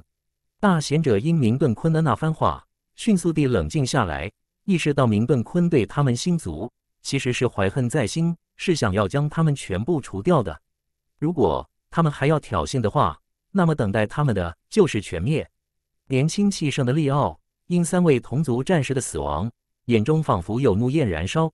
他想再次爆出血脉力量，不计后果地对明顿坤下手。三个死去的星族战士很早以前就追随他了，将他视为未来的领袖。他们不仅死了，死的还颇为凄惨。被残暴的明顿坤分尸以后，又以鱼群啃噬，还吞下了他们的三颗心脏。利奥快被仇恨冲昏头了，我们不是他的对手。贝鲁深深叹了一口气，以畏惧的眼神望着变成鱼人形态的明顿坤。他也感到悲伤，可更多的却是担心。他害怕利奥的胡来会当真惹怒明顿坤。于渊，贝鲁哀求地轻呼：“哗！”踏着斩龙台的于渊飘逝到他和利奥身旁，无奈地说道：“明顿坤这种凶物，不是我的麾下和护从。”我很难制约他的，我呢，只是因为一些原因和他合力在灰域探索，见到了明顿坤在此方意境展现的力量。雨渊很清楚，明顿坤一直在隐藏战力，他和明顿坤当真爆发了战斗，恐怕还真胜负难料。在这种情况下，明顿坤愿意给他一个薄面，没有把利奥、贝鲁、杰拉特全杀了，他该满足了。毕竟星族以前的族长，包括这一代的巴罗。对明顿坤也谈不上友善，我明白的。你能有自保之力，你能够在他旁边活下来，我知道也很不容易了。贝鲁脸上都是颓丧和无力。我的意思是，我们要并肩作战，要尽可能都活着离开。我们真是够倒霉的。没想到他说出他们的遭遇，如于渊所料，他们以为心灵圣兽在的星辰藏着巨大的秘密，想要将这一颗星辰熔炼以后。成为利奥星辰祭坛的一部分，然后就惊动了心灵圣兽。由于明顿坤也来了，贝鲁就更悲观了，一边嘴上和于渊讲话，他一边私下传讯：“于渊，算我求你了，如果有可能的话，请带利奥活着离开灰域。我知道你完全掌控了斩龙台，此物有时空之力存留，我请求你帮他活下来。至于我，我活得够久了，也太老了，我愿意为了利奥牺牲自己。还有杰拉特，我明白你和丹尼斯那丫头关系不错，可为了利奥，他应该也是愿意牺牲的。”贝鲁的意思很明确，只要利奥能活下来，他和杰拉特两人是可以死在这里的。如果有这种必要的话，斩龙台的空间之力在灰域都动用不了，此地更加不行。雨渊泼了一盆冷水下来，浇灭了贝鲁的幻想和奢望。见贝鲁一脸惨然，又说道：“放心吧，接下来我不会让你们三个再死人。”此话一出，贝鲁和杰拉特两人都目显异色。雨渊后面的话语充满了信心，仿佛保证他们三个的存活不是太大的难题。可这小子，大将军杰拉特身形为震，心道：“你即将面对的是一头没有在外界显露过的神秘巨兽，而你的旁边还有明顿坤，你哪里来的底气？怎么敢保证我们的安全？”自在境了，可也是不够啊！瞧出他的境界，已达自在境的杰拉特，仅有片刻的惊讶，又迅速地恢复平静。人族的突破速度之快，他早就见怪不怪了，所以没特别大的感受。你想要什么？就在这时，心灵善受一会儿雌性，一会儿雄性的奇妙声音又从四面八方传来。远方和浩莽一样的山河大地突然发生了巨大的变化，河谷沉落，江海被填，一望无尽的海水迅速覆盖了甘玄大陆的疆域，将帝国冲击得如溃散的沙丘。他和明顿坤记忆中的。浩莽的疆域画面如被神明推倒了重建，一座座另类的恢宏宫殿在尚存的大地瞬间形成。这些造型奇特的宫殿，一看就是出自星族。星族等人的记忆被心灵圣兽弄了出来，在现有的基础上，将浩莽朝着星族的某个世界做出改变。我想要什么？化作于人族模样的明顿坤，在那落脚的岛屿低头看着深海，深海内，他鲜血和鱼鳞化作的鱼群。已将三个九级的星族战士吃干净了，此刻又成群结队地去寻找心灵圣兽的藏身地。我也没一下子想明白，你呢？既然扎根在深海，我感觉你应该很需要我才对。他始终低着头，始终看着眼前的海。你在灰域成长，还待了很多年，你也有你的水域，你有没有办法让我恢复？你知道的，我是受了伤的，我现在的状态不太好。他还在找寻心灵圣兽。你错了，我扎根的海和你所想的并不一样。我从先祖的口中听过你的事迹，知道你很久以前就想要猎杀他，想得到和心灵相关的奥义。他死了，而我从幼小时起度过了最难的阶段。我已在灰域得到了进化，我就让你看看我现在扎根的海到底是什么样。心灵圣兽悠悠然地说道：“轰！所有落入这颗星辰。”被暗境晨雾淹没的生灵，只要是有灵魂的，如在一瞬间被拉扯到另外一方神秘世界。在于渊的手中，不再有斩龙台，他成了虚幻的灵体。他旁边的贝鲁、利奥和杰拉特，也没金块般的星辰祭坛，变得和他一样，也成了星光朦胧的灵体。他们下方的深海、灰神鳄、三足金乌和雷蒙兽，只是虚幻意识，而没实体兽身。化作于人族形态的明顿坤。同样也是灵体，它变成一尾巨大的青鱼，眼瞳不再是一赤红一银白，而是青色。哗啦哗啦，雨渊听到了水波涌动的声音，感觉仿佛从远方正有一股力量推动着水流向他们这个世界推动。片刻后，早就不知所踪的格雷克化作一片赤红血色，硬是被某种力量推动了进来，又像是格雷克自己被什么东西吸引了。放出了一部分魔魂探索，一进来，格雷克急忙凝练自身，成了一簇深红魔魂。还有早就消失的黎会长，以一团闪烁晶莹铜铁光芒的意识形态，也忽然现身。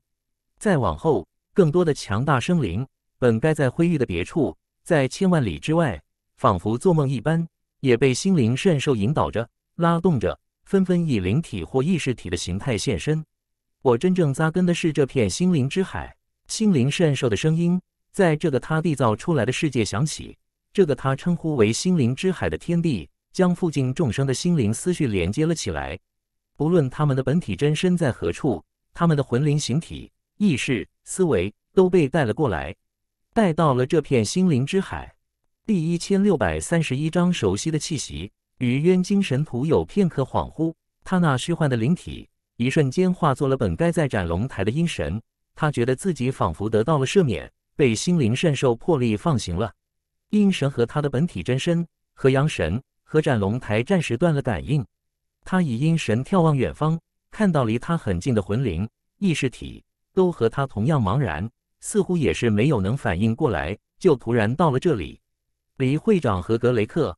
和他相隔的距离非常之遥远，这两个无比危险的家伙好像并不能看到他，感应不出他的存在气息。利奥、贝鲁还有大将军杰拉特成了朦朦胧胧的魂灵，这三个同族战士彼此间正在靠拢。再往后，雨渊看到了越来越多的强者魂灵，或是他们一部分的意识被心灵圣兽弄到这片心灵之海。明顿坤变得不吭声了，轻于形态的他。似在琢磨这个世界的奥妙，于渊在暗暗感应。他注意着那些异族，还有灰神鳄、雷蒙兽三族金乌的意识灵体，很快就知道被心灵圣兽带到这片心灵之海者，可能不是灵魂的全部。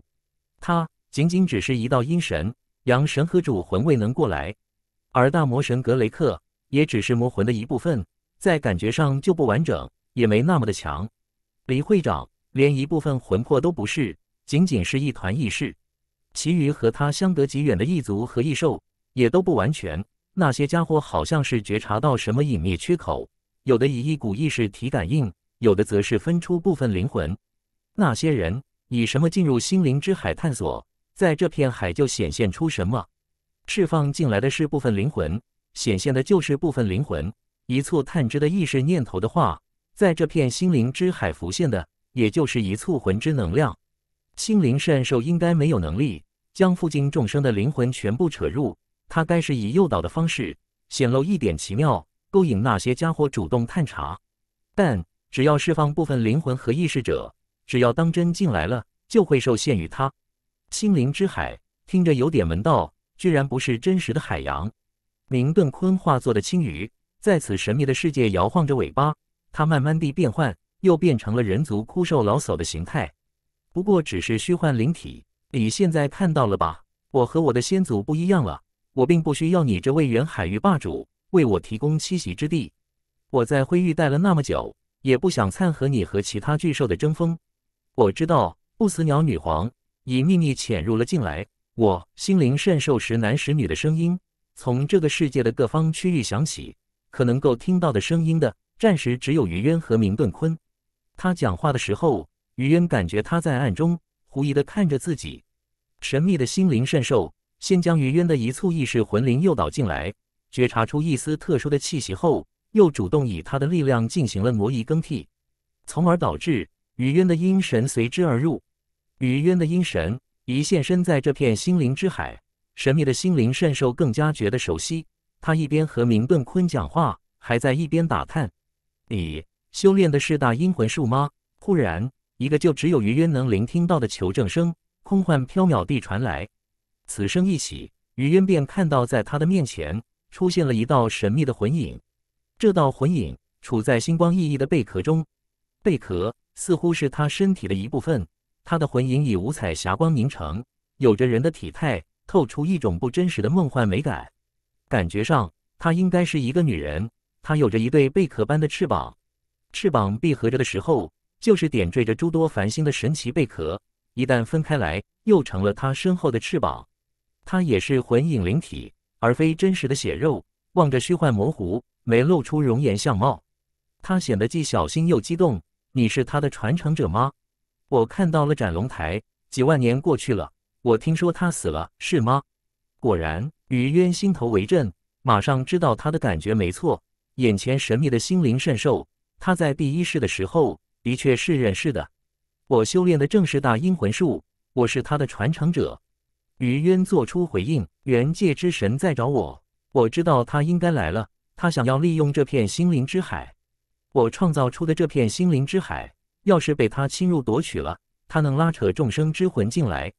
心灵圣兽提起元界之神时，灵魂在颤抖，无比的恐惧。我知道他出现在灰域了，所以我在躲他。你能帮助我离开吗？这片被我创造出来的心灵之海，要是让他掌握了，我担心心灵圣兽很恐慌。心灵之海中的余渊神色骤变，元界之神来灰域是为了你吗？我一定是他其中的一个主要目标。心灵圣兽赶紧说：“说说你的能力和这片心灵海的奇妙，还有我该如何帮你？”余渊连声道：“这片心灵之海的形成，一方面因为我与生俱来的天赋，还有就是得到了太阴的启发和帮助。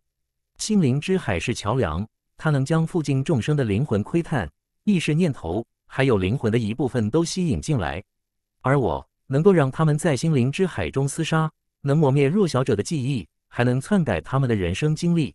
他们的部分灵魂、意识念头，要是死在了这片心灵之海，这片海会变得更宽阔，能容纳更多的魂灵进入。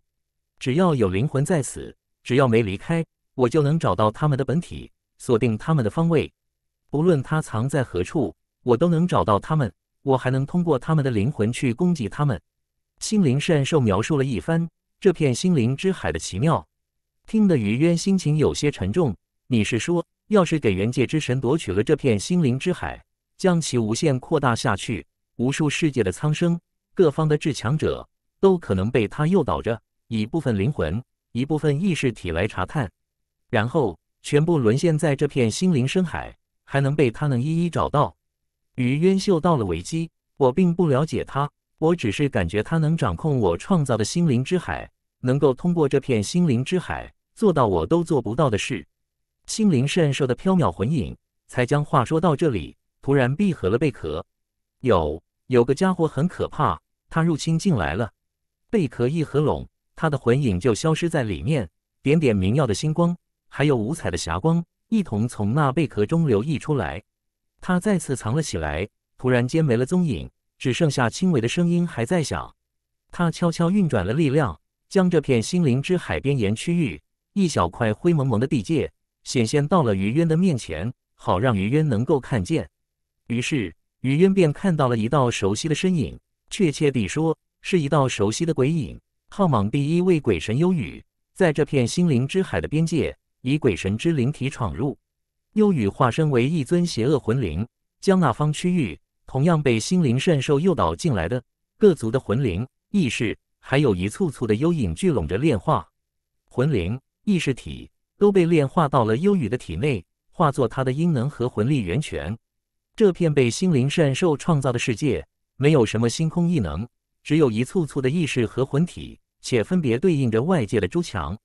幽雨将自己视为浩莽的一员。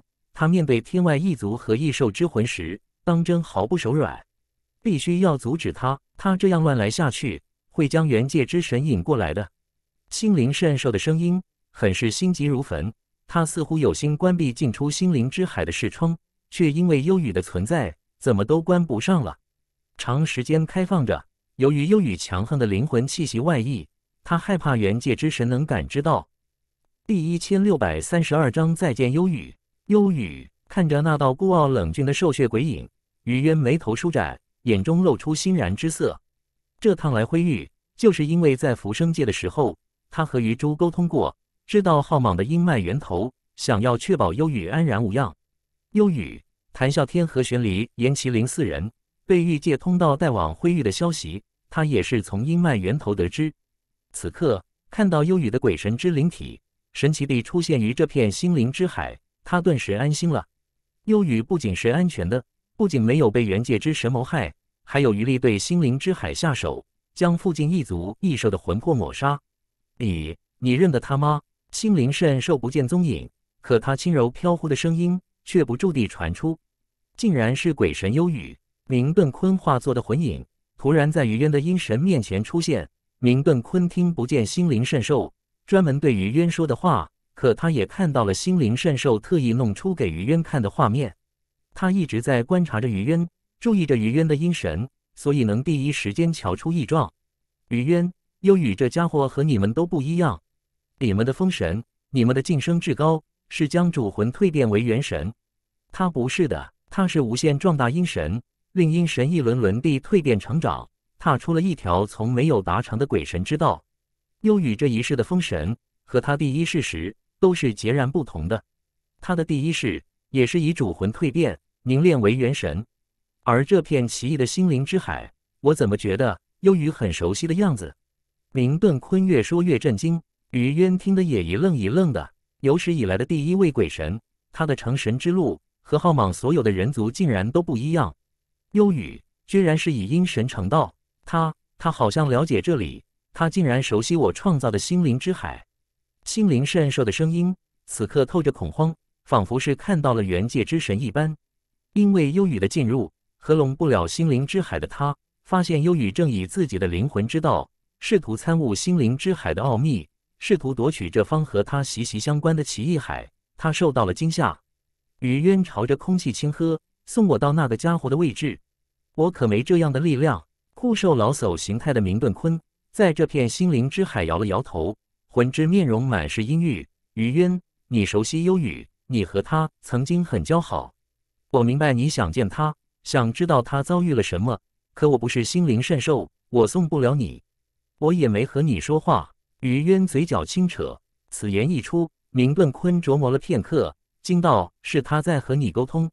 你难道相信他？你知不知道，如他般精通心灵秘术的异兽，很容易迷惑你，让你生出重重的幻境，让你不知不觉地依照他的意志行事。”利奥。还有那三头异兽因他而袭杀我的场景，你刚刚才亲眼见到过。得知于渊其实在私底下一直和心灵圣兽保持着交流，明顿坤急了。他想当然地认为心灵圣兽借助他擅长的幻术和精神影响力，让于渊沦陷了。我岂会那么容易被他迷惑？于渊嗤笑一声，不再和明顿坤浪费口舌，郑重地说道：“我相信你有能力。”将我送到那个入侵者的面前。放心，我能够约束他，不让他继续胡来。你确信吗？心灵善兽弱弱地问。确信。于渊轻呵，好，好吧，勉为其难答应下来的心灵善兽，忽然运转他的血脉天赋。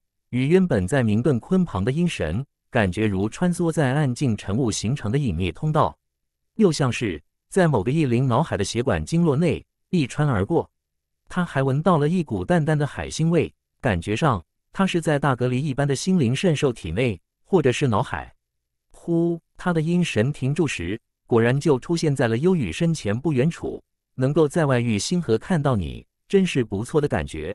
于渊洒然一笑，太于渊差点喊出太阴的幽雨，也被蓦然冒出的于渊惊住了。但幽雨居然在瞬间恢复了冷静，像是突然想通了所有环节。我一进来，一感觉到这个奇诡的世界，就瞬间联想到了你。灵魔之海，心灵和心魔的海洋，果然被你弄出来了。当年你我曾经探讨过，曾经设想过的奇异海，你竟然在灰域内通过一头星空巨兽创造了出来。幽雨感慨地说道：“灵魔之海，反倒是于渊因他的这一席话，有些不知所措了。心灵之海，心魔之海，灵魔之海。”称呼什么都不重要，总之，这是你我曾经设想过，可在我死前都没瞧见的奇异海。幽雨的脸上有几丝欣然的意味。你我当初印证魂术，你我的他的话突然打住，别试着窥探我。你既然来了，不妨现身一见。我叫幽雨，来自于浩莽大世界，我是阴脉的意志体现。从他开始说起这方世界的玄妙起，这里的任何魂灵异士都不知他在说什么。包括缔造者心灵圣兽，因为他已经以他的鬼神之能，将身旁区域的心灵之海淹没，将其化作他主宰的领地。他相当于从心灵圣兽的手中抢夺了一块地盘，在这块地盘，他又与就是唯一的神。他的话语打住，没再深入的去说，是因为心灵圣兽飞逝过来，想要聆听他和于渊的对话，想知道发生了什么。哗，裹着两片贝壳的心灵圣兽。由潜影的状态再次露面，模糊的魂影体态看着柔柔弱弱，仿佛在主动示弱。但是，身为心灵之海缔造者的他，却被一层灰白色的波光挡在外。他硬是不能进来。他倒是了解你，所以才展露女性的娇弱面，想引起你的同情心。这头成年巨兽，我一进来就发现了，它面对其他人的时候，可不是你看到的那么娇弱。因它而死的人和兽，不知有多少个。幽雨冷哼道。随后，又以以意味深长的目光瞪了于渊一眼，道：“他知道你的身份吗？”他当我是我的传人。于渊以有些拗口的话回应幽雨。幽雨听懂了，小心元界之神。元界之神一直在找这片心灵之海，你让我关不了门，我怕他能找上来。心灵善兽在外尖叫。元界之神，幽雨的神色终于变得凝重了一些。我懂了，元界之神将我弄来。就是知道灵魔之海藏在灰域，看来他是想要通过我找到这片被巨兽缔造的灵魔之海。修，从他的这具鬼神魂体中飞射出了亿万束灰色流光，如无数探知的蝗虫活动在这片神秘之海。让我来找找看，看看有没有他的信徒已经提前就位了。他能借助任何信徒，以其灵魂降临元界，和这个灵魔之海有相似之处。他该是想要通过元界将灵魔之海吞没融合，以此对付我们这个世界的众生魂魄。他最终还是想要借此和大魔神贝尔坦斯一战。幽雨皱着眉头，根本不理会心灵圣兽的嚷嚷，也没有收回力量，没有让心灵圣兽关闭这片奇异海的打算。第一千六百三十三章真实的意境。幽雨在知道元界之神的图谋以后，依然是以他自己的步骤行动。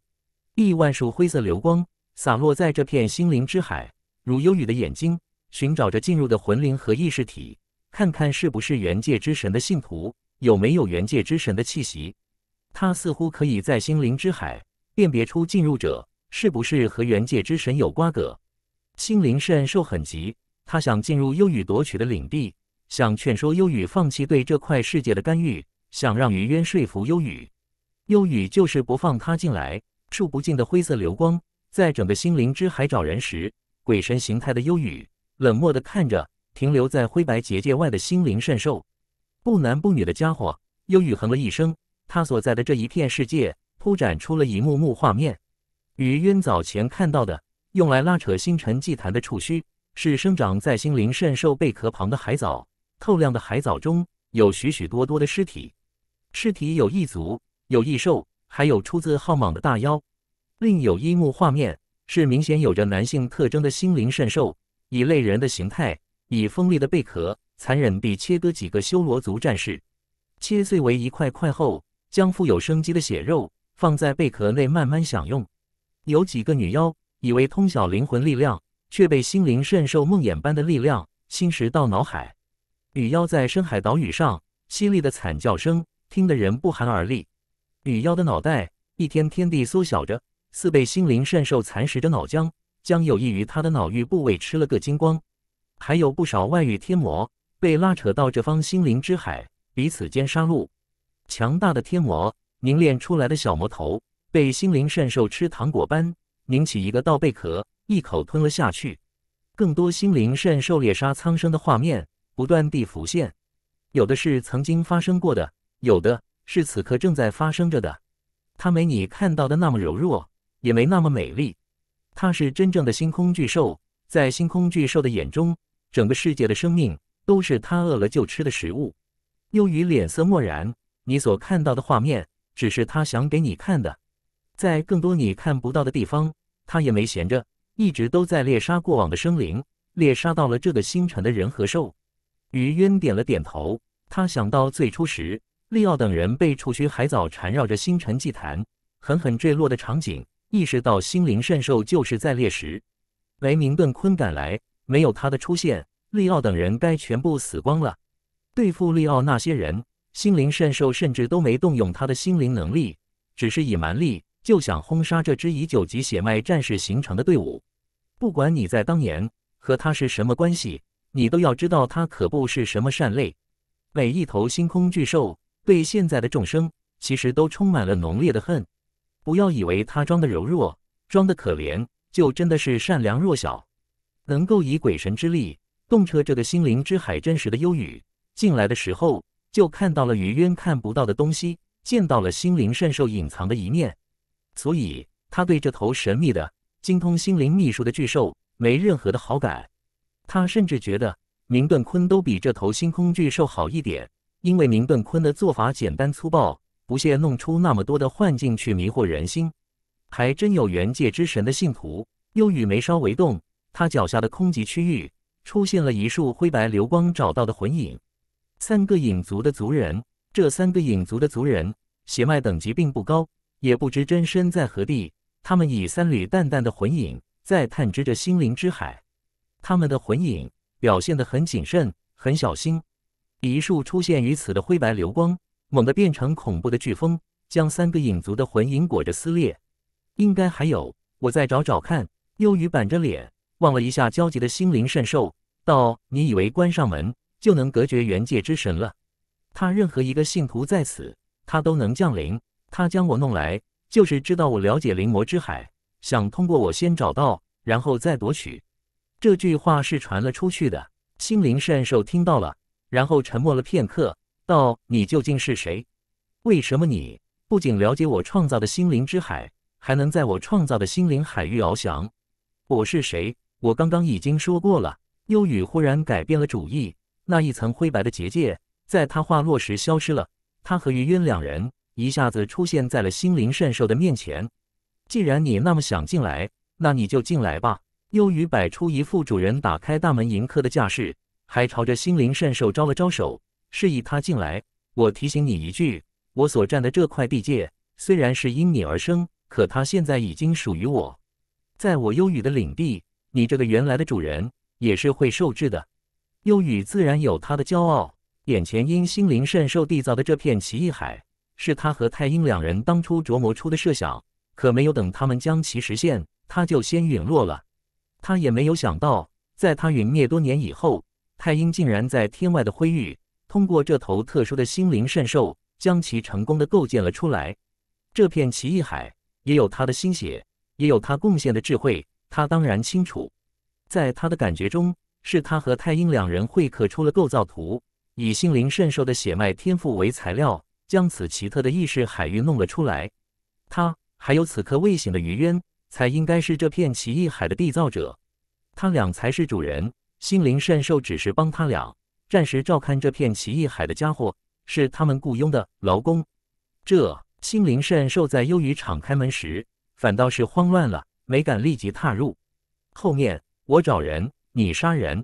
幽雨释放出去的亿万道灰白流光，还在此方心灵之海呼啸，在每一个涉足于此的魂灵和意识体附近出没着。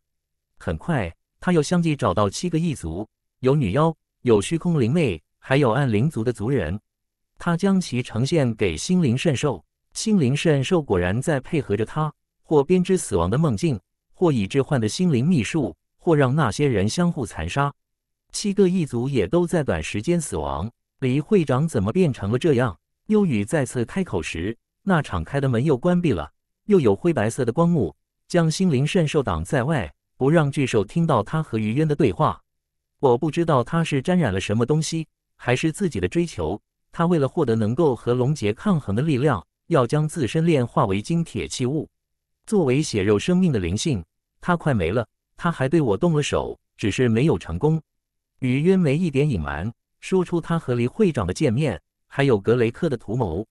格雷克是要袭杀灰域的顶尖异兽，以免被妖凤掌握，将异兽的血脉提升到十级，变成用来对付深暗星域的核心力量。还说了，他此刻和明顿坤都比较提防妖凤。玄离何言先生呢？还有谭啸天又是什么状况？他将这阵子的遭遇。大体上说了一番，才去询问幽雨的情况。玄离受了重伤，我的那具特殊躯体此刻在玄离身旁保护他。至于严麒麟，我们被弄到灰域的瞬间，他就被一股奇怪的空间力量吸扯着，瞬间消失了。谭啸天的话，他在御界通道时，一感应到元界之神的意志，就和元界之神纠缠上了。我不着急，让那巨兽关闭这里，不担心他的信徒将他弄过来。是因为谭啸天还在缠着他，一时半会他应该处理不了谭啸天这个麻烦。即使知道我成功到了灵魔之海，也无法马上赶来。每次提到谭啸天的名字，忧郁都微微皱眉。谭啸天有那么厉害？于渊一惊，诸天星空的黑暗之力，他差不多参悟完全了。这条大道终极，他是玩透了。元界之神也大概只能困住他，却杀不了他。幽语神色沉重，对魔主谈笑天，他给出了极高的评价，话语中都有明显的敬意。第一千六百三十四章一拍即合。灰域深处，李会长到了一团涌动的黄沙迷雾前，眼瞳中有一光闪过。他刚刚感知到一股神秘的灵魂磁场，好奇之下，他以魂视探查。探查的魂视落入那磁场时，如石沉大海，和他自身失去了联系。元界，李会长皱眉，以为是那位名头响亮的元界之神，忽然弄出了一扇隐秘的元界之门。他不小心地探查，导致一团魂师遗落其中。他并不在意，对现在的他来说，不要说一团魂师了，便是部分灵魂遗失，他战力也不受影响。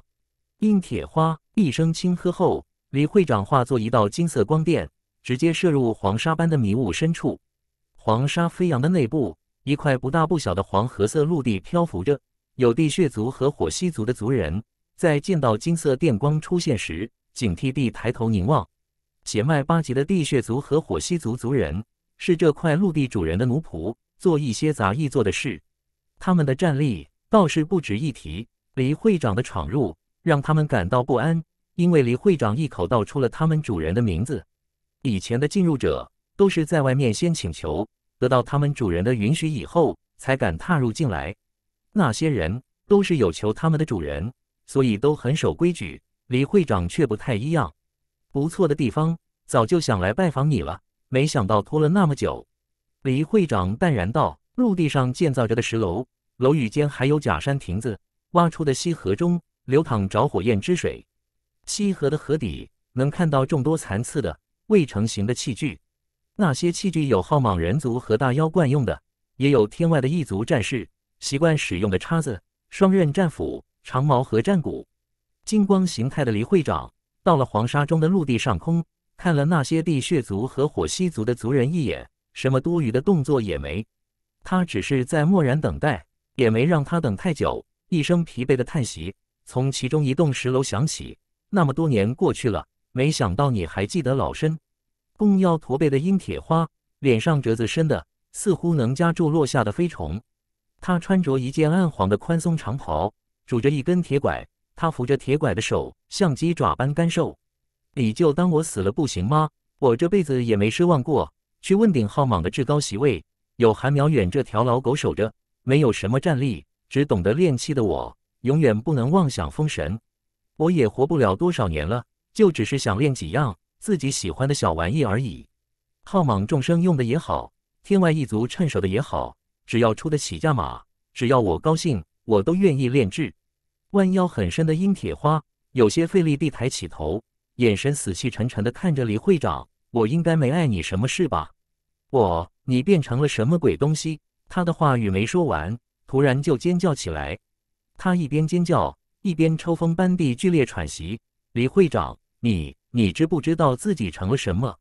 在你的身上，我已感觉不出生命存在的迹象。你让我觉得你就是一堆废铜烂铁。你到底经历了什么？怎么会变成这样？殷铁花大惊失色。他瞧出了李会长的诡异，心生不安。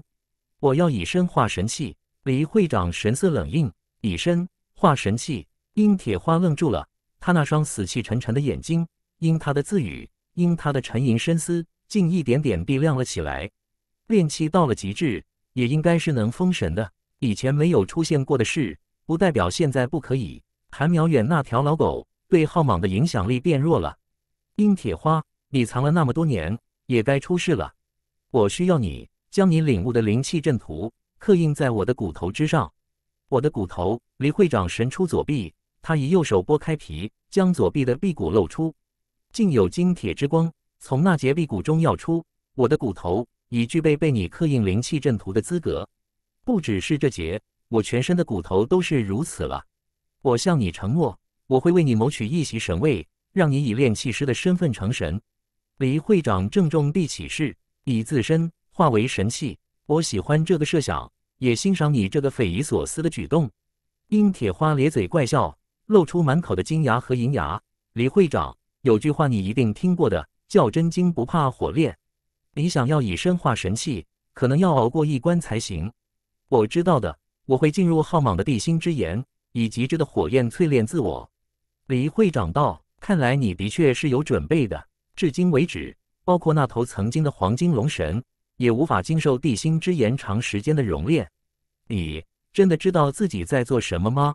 冰铁花沉声道：“知道。”李会长点头。你要是成功了，不仅能够以血肉化作神器，你还能越过地心之岩，有接触元魂的可能。殷铁花精神一振，从一开始，你就是想越过地心之岩，想去接触元魂是吗？李会长没承认，也没否认。也在此刻，元魂，有人提到了元魂，是谁？心灵之海中的鬼神幽雨，还在以亿万灰色流光。寻找和元界之神相关的灵魂，他突然听到了这个声音，随后集中力量寻找，很快就发现了离会长的一簇晶莹铜铁的魂饰体。离会长在阴铁花面前感应不到这团游荡在心灵之海的魂饰体，可有雨却能通过他这一团魂饰体看到他本体真身的方位，还能知道此刻的李会长到底在做什么，和什么人交谈。哗，涌动的黄沙中。那块黄褐色的大陆，奴仆般的地血族、火蜥族族人，弯腰驼背的阴铁花和离会长，瞬间就被呈现出来。被幽雨夺取的领地内，他和于渊两人如九天之上的神灵，看着离会长和阴铁花，听着两人的对话。阴铁花是气宗前面几代的宗主，传说炼气走火入魔，早就死于天外星河了。幽雨只看了一眼，听了两句，就说出了那个驼背老妪的身份。他居然还活着，活在灰域的一方地界，心灵圣兽的这片海没有将他的魂念和意识拉进来，说明他对周围的神秘现象抗拒。聆听时，他扭头望了一眼于渊，道：“这个黎会长似乎决意要和你对着干了。”他话中有话，身为于渊最早的挚友，在全面苏醒以后，又得到阴脉源头眷顾的他，自然是知道浩莽的地心深处藏着阴脉源头也在渴望的元魂。他当然也知道，第一事实的余渊是接触过元魂的。李会长将自己变成现在这样，还要舍弃血肉之身，准备将自己炼制成金铁铸造的神器，不仅要承受地心之炎的焚烧，还想想越过地心之炎去接触元魂。他是个隐患，必须要尽早除掉。幽雨认真想了想，语气严肃地说：“阴铁花的藏身地，我大概能找得到。你待在这头巨兽的星辰。”我以外部的躯体带着玄离来找你，等我的躯身和你汇合后，我们去找阴铁花，将阴铁花和离会长都杀了。于渊还处于惊奇之中，没想到幽雨能通过进入的意识魂念找到进入者的方位，能看到进入者的一举一动，这岂不是意味着他幽雨快将要成为这片心灵之海的主人？别再婆婆妈妈的，这个离会长既然甘心堕落，该杀了就杀了，你等着。我和玄离已经在过来的路上了。幽雨脸色冷漠，比于渊还要急切。等我和玄离来了，这头制造心灵之海的巨兽也要被控制起来。还有就是，我要先助你破开封镜。第一千六百三十五章撕破伪善面。哧啦，如有一层膜。因幽雨最后的那句话被利刃给划破了。于渊的阴神和他本体真身和斩龙台之间瞬间再见精神连接。他本体还是在原地，还踏着斩龙台，站在那个已变换为星族世界的天地。新的天地不再是浩莽的版图，令他感到陌生。而显露凶暴一面的明顿坤，也还在一座岛屿上，依旧低头看着下面的海域。不远处的利奥、贝鲁和杰拉特，犹如死物般没魂之动静。三魂一互通，于渊就知道他的本体真身，在那暗静晨雾中的星辰，其实就只过了片刻功夫。本体真身通过斩龙台已能感知出阴神就在海域某处，在一块奇异的神石内，心灵神石。他马上反应了过来，知道他的阴神和明顿坤的一部分魂念，利奥贝鲁杰拉特的星光魂体，还有黎会长的魂饰，格雷克宁做的那片血色魔影，全部都被心灵圣兽带到或诱导到了他的心灵神石。心灵神石似乎和虚空灵魅的开天神石一样。也成了一方独立的世界。不过，心灵神石所缔造的世界似乎更特殊一点，只能供魂灵和意识体涉足。在心灵神石内，就是所谓的心灵之海，也是幽于嘴里的灵魔之海。明顿坤苦苦寻找，始终不得方位的心灵圣兽，必然就在心灵神识的位置。而那头不断对他示弱、表现出很胆怯惧怕样子的心灵圣兽，其实是能够让他的阴神和本体真身畅通交流，不去中断感应的。就如现在这般，幽雨能做到的，心灵善兽自然也可以，因为它是孕育出心灵神识，弄出那个心灵之海的存在。可他却没那么做。那头心灵善兽明明能做到，却只是一直遮蔽迷惑他，切断了他三魂间的连接。竟然还有脸苦巴巴地哀求，求自己带他离开，还打着自己第一世的幌子，也是够阴险和狡诈的。你的眼神发生了变化，仿佛突然看清了很多。怎么，你被他弄进去的灵魂，让你给找回来了？岛上的明顿坤突然仰头看着他，道：“我是被诱导了一簇魂念，不过我无所谓。他们可就不一样了。”明顿坤嘿嘿一笑，盯着利奥等人，他们进入的不是部分。而是整个魂灵，你看看他们这种失去灵魂的躯壳，若有外域天魔在此，很容易炼化他们，将他们炼成魔躯。在星辰祭坛的上面，利奥、贝鲁和杰拉特眼睛是睁开着的，可里面却没丁点灵光。他们给人的感觉仿佛变成了人形的木偶，只有躯壳而无魂。于渊脸色微冷，利奥等人的魂灵要是在那心灵之海死亡。这三个只剩下躯壳的星族战士，不也是死亡？他们的身躯应该会像幽雨之前给他看的那样，被心灵圣兽慢慢蚕食。明顿坤、黎会长还有格雷克般的强者，失去一小部分魂势，甚至一小部分魔魂，对他们都造不成太大的影响。这说明心灵圣兽释放出全部的天赋能力，也没办法将至强者的灵魂全部给弄到心灵之海。你可不够真诚。于渊的视线朝着灰神鳄、雷蒙兽和三足金乌后方另外一片深海望去，哗！一只只银亮的鱼群顿时朝着那片深海冲去。明顿坤仅仅通过于渊的视线和他的这句话，就断定他凝望之处就是心灵圣兽的藏身之地。于渊，让我找到他，让我看到那块心灵神石。我大概猜到你我的部分魂体经历着什么。大概明白原因了。呼，刚刚目光所至处，雨渊踏着斩龙台，瞬间现身了。他下方的海域再也不见一座零散的岛屿，海水如墨，黑黢黢地，深幽无比。在海水底下，他感应不是生命的气息，可他却知道，他的阴神就在深海底部，就在某个不起眼的角落。如明顿坤以一根骨头炼化的小石子般，下方深海的心灵神石。也凝为了一颗小石头，混杂在亿万之多的同色石头内。只要没能量散逸，没气血和魂念流出，化作那片海底无数小石头中一颗的心灵神石，明顿坤找到死都未必能找得到。而现在，阴幽雨让他和阴神有了联系，他凭借自身和阴神的连续，就能将无数小石头中的那颗心灵神石找出来。他着急了，心灵之海内，幽雨的鬼神之体。指着灰白光幕外那头不断撞击着的心灵圣兽，冷着脸说道：“你是在那个世界里做了什么事情？你我灵体在的心灵之海，是他孕育出来的一块石头。这块石头被明本坤称作心灵神石，在那方世界深海底部，在亿万块同样的石头中，明顿坤从进入那个世界起，就是在找他，也在找那块心灵神石。而我，因因神在此。”因你让我能够和本体保持联系，所以我帮明顿坤找到了。此刻，明顿坤已奔着这块心灵神石来了。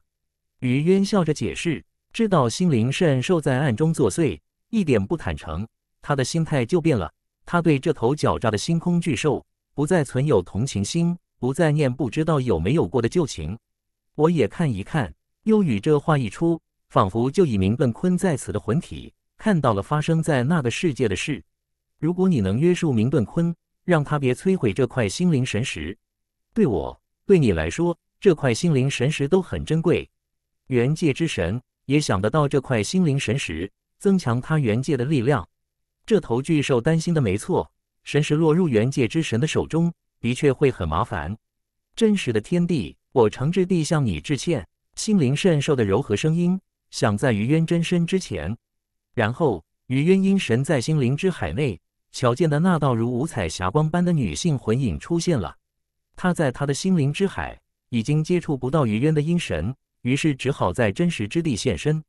我遮蔽你，让你的三个灵魂不能互通，就是怕你能锁定我的方位，帮明顿坤找到心灵神石。你们两个是一起过来的，你们是同伴，而他对我不怀好意，我当然要提防。还有，你只是那位的传承者，而非那位本人，我没那么信你。心灵圣兽池一般的贝壳洒落着星光。这个他也非巨兽之身，只是一团灵魂意识。希望你拦阻他，或者也将我那块心灵神石的准确位置告诉他。心灵圣兽学着星族的礼仪，向于渊鞠躬行礼，不住地说着对不起，反复解释他所做的一切只是为了提防明顿坤。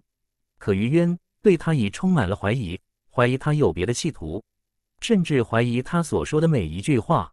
我信幽语，不信你。于渊笑了笑。在你和明顿坤间，我也更信明顿坤一点，信我才对。明顿坤的狞笑声从这方墨色深海的海底，从众多的银亮鱼群传来。给我点出方位，等我找到那块心灵神石时，我也就找到了他。和我玩花样，你这个年轻的小辈还嫩了一点。于渊赶来的明顿坤，蓦地一声惊叫，魂灵形态的心灵圣兽将原先娇弱的一面隐去。开始展露他残酷嗜杀的一面。既然说服不了你，既然你不听话，那我只好杀了你。于渊在心灵之海的阴神已被幽雨拉入他的领地，没办法除掉。他能做的就是灭杀于渊的本体真身，还有于渊的阳神，让于渊无法通过阴神将他和心灵神识的位置告诉明顿坤。他觉得没有成为至高元神的于渊，应该很容易除掉。他选择直接侵入于渊的灵魂世海。第一千六百三十六章心灵之战终于肯露出真面目了。幽雨冰冷地说道：“他在心灵之海中，通过明顿坤的一团魂影，看到了真实天地里心灵圣兽对于渊下手了。我等的就是这一刻。”被幽雨强占的那一片灰白色世界，突然响起了无数鬼魂和魔魂的哭嚎声。他释放出去搜寻元界之神信徒的亿万流光。化作亿万条或清澈或浑浊的溪河，在条条溪河中，似乎都有鬼魂浮沉着，有和魂魄相关的奥秘，名为光线和法则。雨渊待在他旁边的阴神，仿佛看到深藏浩莽地下的阴脉源头，化作了亿万条河流，将清澈和浑浊的一面都展现了出来。亿万条溪河吸带着阴脉气息，流淌在心灵之海，以他幽雨参悟的魂之秘术。对这个奇异世界进行着渗透和占有。由于所处的世界和辽阔的心灵之海相比，本来只是冰山一角，可现在这片小世界竟在迅速壮大，渐渐变得宽阔。本来幽雨还没有想动用全力，还在犹豫和试探。他想看看这头神秘的心灵圣兽是不是和当初的太阴存在着什么亲密关系。等他看到心灵圣兽在那真实的天地对于渊下手了。他就不再犹豫了，他选择夺取心灵之海。另一端，呼，一个脸上覆盖着五彩面具、露出的眼瞳燃烧着怒焰的高大身影，突然出现在了于渊的灵魂世海。这是一位看起来颇为高大的人族男子，他衣衫素白，一尘不染。他的两只手分别握着一面星光灿然的棱形盾牌和一杆同样质地的长枪。他是有着明显雄性特征的心灵圣兽，你是他的传承者。我本不想和你大动干戈的，可你却偏要和明顿坤对付我。化作雄性的心灵圣兽，在于渊灵魂是海的声音不再柔和动听，而是粗野沙哑。哧啦，那杆长枪朝着于渊的阳神投影，刺了一下，顿时有一道深青色雷电劈射而来。自从于渊的阳神被元血淬炼过，阳神的魂魄都被融入到了那具新奇的躯身，很难再额外提供魂力到他自身的视海，因此。他灵魂是海的阳神投影，就只是虚幻的影子，没任何实质的攻击力，也没真正的魂体存在。深青色的雷电劈射过来以后，也只是劈在虚幻泡影上，没激起丁点波澜。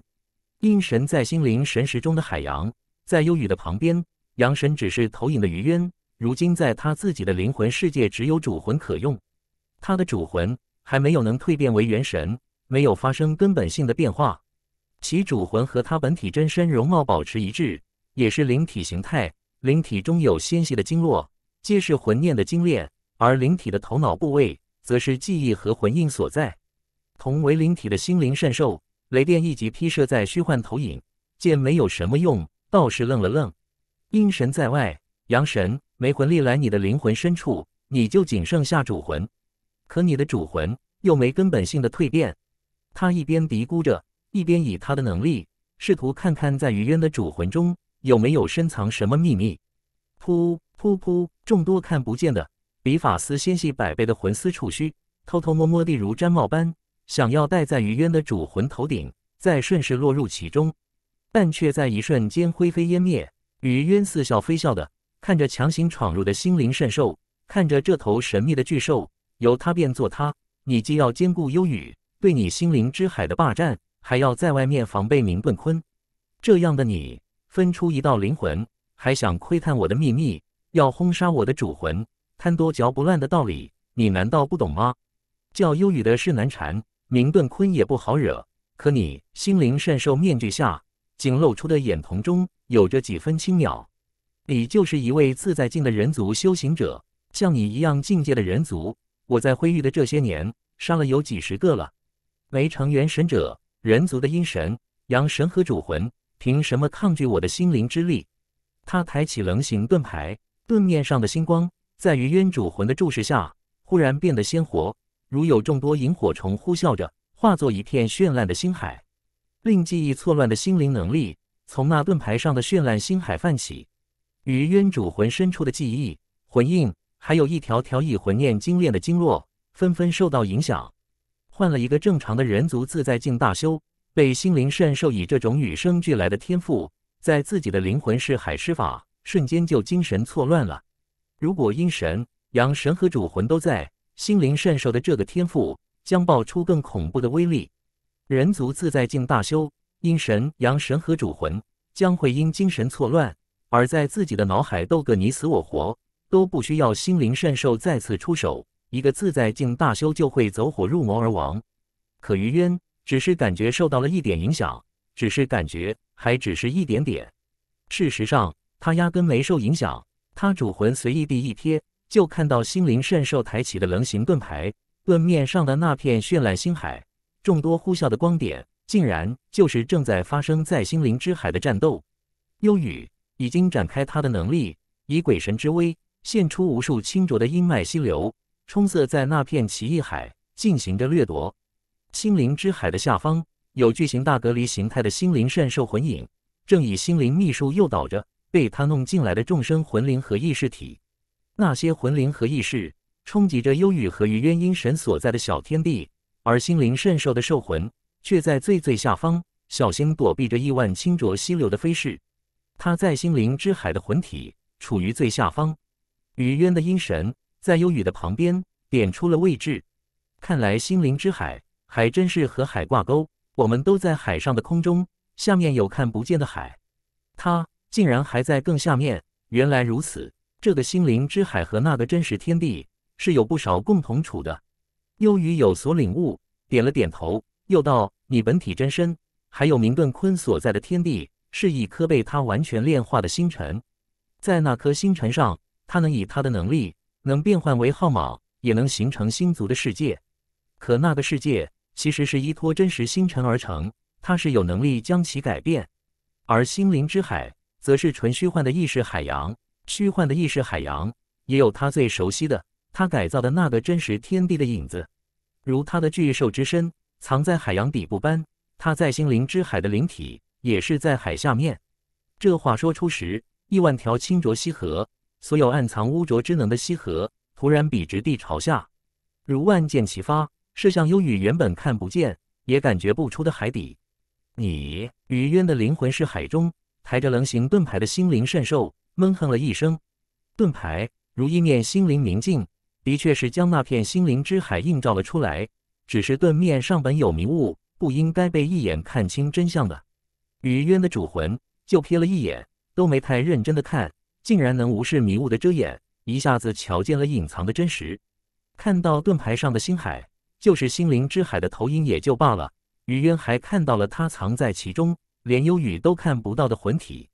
怎么会这样？这不可能啊！一手举着盾牌，一手提着长枪的心灵圣兽，眼神茫然地喃喃。他感觉到了蹊跷，感觉到了不对劲。对人族自在境大修，无往不利的心灵秘术，没有对于渊奏效，令他生出了不安。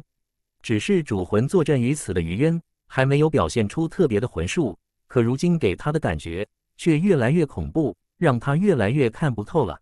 在我的灵魂是海，在我的意识世界，你竟然敢展现和灵魂相关、和心灵相关的秘法和天赋？于渊哑然失笑，迄今为止，胆敢在他灵魂是海乱来者。还没谁能真正讨到便宜。明顿坤在飞萤星域的狂暴，也不是因为启天剑阵，而是窥探了他的灵魂，从他的主魂深处瞧见了元魂的痕迹。然后明顿坤就疯了，立即以狂暴状态逃窜。第一千六百三十七章幻化神魔。真实的天地悬于空的斩龙台旁，枯瘦老叟形态的明顿坤从另外一方深海的岛屿赶了过来，他就站在鱼渊旁边。一赤红，一银白的眼瞳，以一种饶有兴趣地的神色看着必着眼脚踏斩龙台的鱼渊。途中，他看到心灵圣兽不再遮掩，要对鱼渊下手时，他还惊叫了一声。那时的他还多少有点担心，担心于渊不够警惕，会被心灵圣兽伤到。惊叫声过后，他就看到魂影形态的心灵圣兽变成了一道五彩霞光，瞬间消失在了于渊的眉心深处。在那一刻。刚刚还惊叫的明顿坤忽然就放心了，他于是不慌不忙地过来。等他见到于渊索性闭目了，就知道于渊和那闯入的心灵圣兽该是在于渊的灵魂是海中发生了冲突。于渊的灵魂是海，可不是你想进就进、想出就出的地方。即使你是心灵圣兽，还精通着灵魂和精神艺术。明顿坤在心中腹诽，脸上露出了幸灾乐祸的表情。他当然知道。在于渊的主魂至深处，那位的灵魂印记从没有爆灭过。他曾经有幸见过于渊主魂深处的场景，他还记得当初的他有多么的震惊和恐惧，反应有多大。他倒是想知道，心灵圣兽侵入于渊的灵魂是海，一层层剥下去，将会剥出什么？想到即将发生的场景，明顿坤就咧开嘴，忍不住地嘿嘿怪笑起来，如张金博挖掘火山之心。挖出了血水，如利奥贝鲁等人炼化这颗星辰，发现藏着心灵圣兽般。心灵圣兽在于渊灵魂是海深挖下去，从于渊主魂中将挖出太阴和元魂的痕迹。哈哈！明顿坤拍腿狂笑。不远处的海水中，灰神鳄、雷蒙兽和三足金乌被滔天巨浪卷住，被按在深海中，不论如何也挣脱不掉。他们眼巴巴地看着狂笑中的明顿坤。放心。你们不再是我的目标了。明顿坤哼了一声，很意外，这三头顶尖的异兽居然没有被心灵圣兽将兽魂全部带入那片奇异海。你们失去的那一部分兽魂，还是有希望被找回来的。扑通一声，他落入墨色深海，就露出一个头在外，还高高昂着望向斩龙台。暗地里，以众多的银亮游鱼持续朝着海底深入，另有更多的鱼群从他海水中的身体飞出，也在四处活动。如幽鱼此刻在那心灵之海内部，以亿万道灰白流光化作的清浊溪流，蚕食抢夺心灵圣兽的奇异海一般。明顿坤也在以他的方式对这片真实的墨色深海渗透，要将这方海域笼罩。然后只等于渊给出一个准话，告诉他海底数不尽的石子中哪一个是心灵神石，他就能顺势找到心灵圣兽。我要的是这头成年的心灵圣兽，我要以它来恢复力量。以它壮大魂魄，明顿坤咕哝了一声，似乎是说给三头顶尖的九级异兽听，又像是说给于渊听。至于他弄出的心灵神石，我是可以割让，可以交给你去处理的。好，于渊的回应声从他胸腔的气血小天地传来。回答明顿坤的是他的阳神，阴神在心灵之海，在幽雨旁边，主魂在他自己的灵魂是海，一脸嘲讽地和心灵圣兽说着话。他唯有阳神闲着没事，所以他是以阳神去回应，以追随这一束血气，血气去的地方就是心灵神识的方位。这头心灵圣兽的巨兽之身，该是缩小以后躲在心灵神石的旁边。当然，不管它在何处，你只要动那块心灵神石了，它就一定会出现。咻！一束赤红幽电猛地由于渊胸腔飞离，直射墨色海底。哈哈，我期待很久了。明顿坤欣然答应下来，在墨色海洋中分散在各处的鱼群，顿时向着那一束赤红幽电聚拢。以他的鲜血和他鱼鳞化作的银亮小鱼聚拢之后，变成了众多的明遁鲲，看起来像是几百个以鱼群形成的明遁鲲，从各个方向追随着那一束赤红幽电。你何来的底气？一一敌三，自身的是海中鱼渊的主魂朝着前方飞逝，虚空轰隆隆地作响，一尊接着一尊未知的神灵，或执掌着雷霆道泽，或是最古老的魔神，或是头顶着苍穹脚踏大地的巨妖。或是围镇星河的巅峰战士，这些消失在历史长河中、被太阴神王轰杀的异类神明，如在于渊脑海活了过来。于渊的主魂矗立在一尊尊的至高魔神巨妖之前，看起来很渺小，却让心灵善兽感受到了大恐怖。幻化诸天神魔，心灵善兽失声尖叫。也在此刻，他闯入到于渊是海的这一道魂体，和他在真实天地的巨兽之身。和他在心灵之海的兽魂同时断了联系，他也是一分为三，因为他感觉余渊最弱，最容易被灭杀，所以他入侵余渊灵魂是海的魂体，仅仅只是兽魂中的一小部分。可这一小部分和他的巨兽之身，和他心灵之海中的兽魂，从没有被遮蔽过。而现在，他在余渊的灵魂是海，被余渊以他刚刚对待余渊的方式蒙蔽了他和自身的感应，他的巨兽之身。和他的巨兽之魂已经不能知道这部分魂体正在遭受着什么了。我我我知道了，心灵善兽的这一部分魂体，等看到诸天神魔越过了余渊的主魂，一尊尊地直扑过来后，他发出了绝望的哀嚎声。他这部分魂体突然跪伏着，试图解释，试图得到谅解。可惜，只在一刹那间，他就被众多的神魔巨妖轰杀。呼，在他这一部分魂体湮灭以后，于渊主魂的背后，一片虚无之地中，忽然出现了一道朦胧的魂影。这道朦胧魂影被两片星光璀璨的贝壳包裹着，气息神秘，安静地一动不动。于渊扭头看了他一眼，就一眼，这道朦胧的魂影便消失了。而于渊主魂深处，则是出现了许多心灵善兽参悟的心灵秘术，多了一枚小印记，仿佛。被那些诸天神魔吞噬的一部分心灵善兽魂体，已被他消化干净了。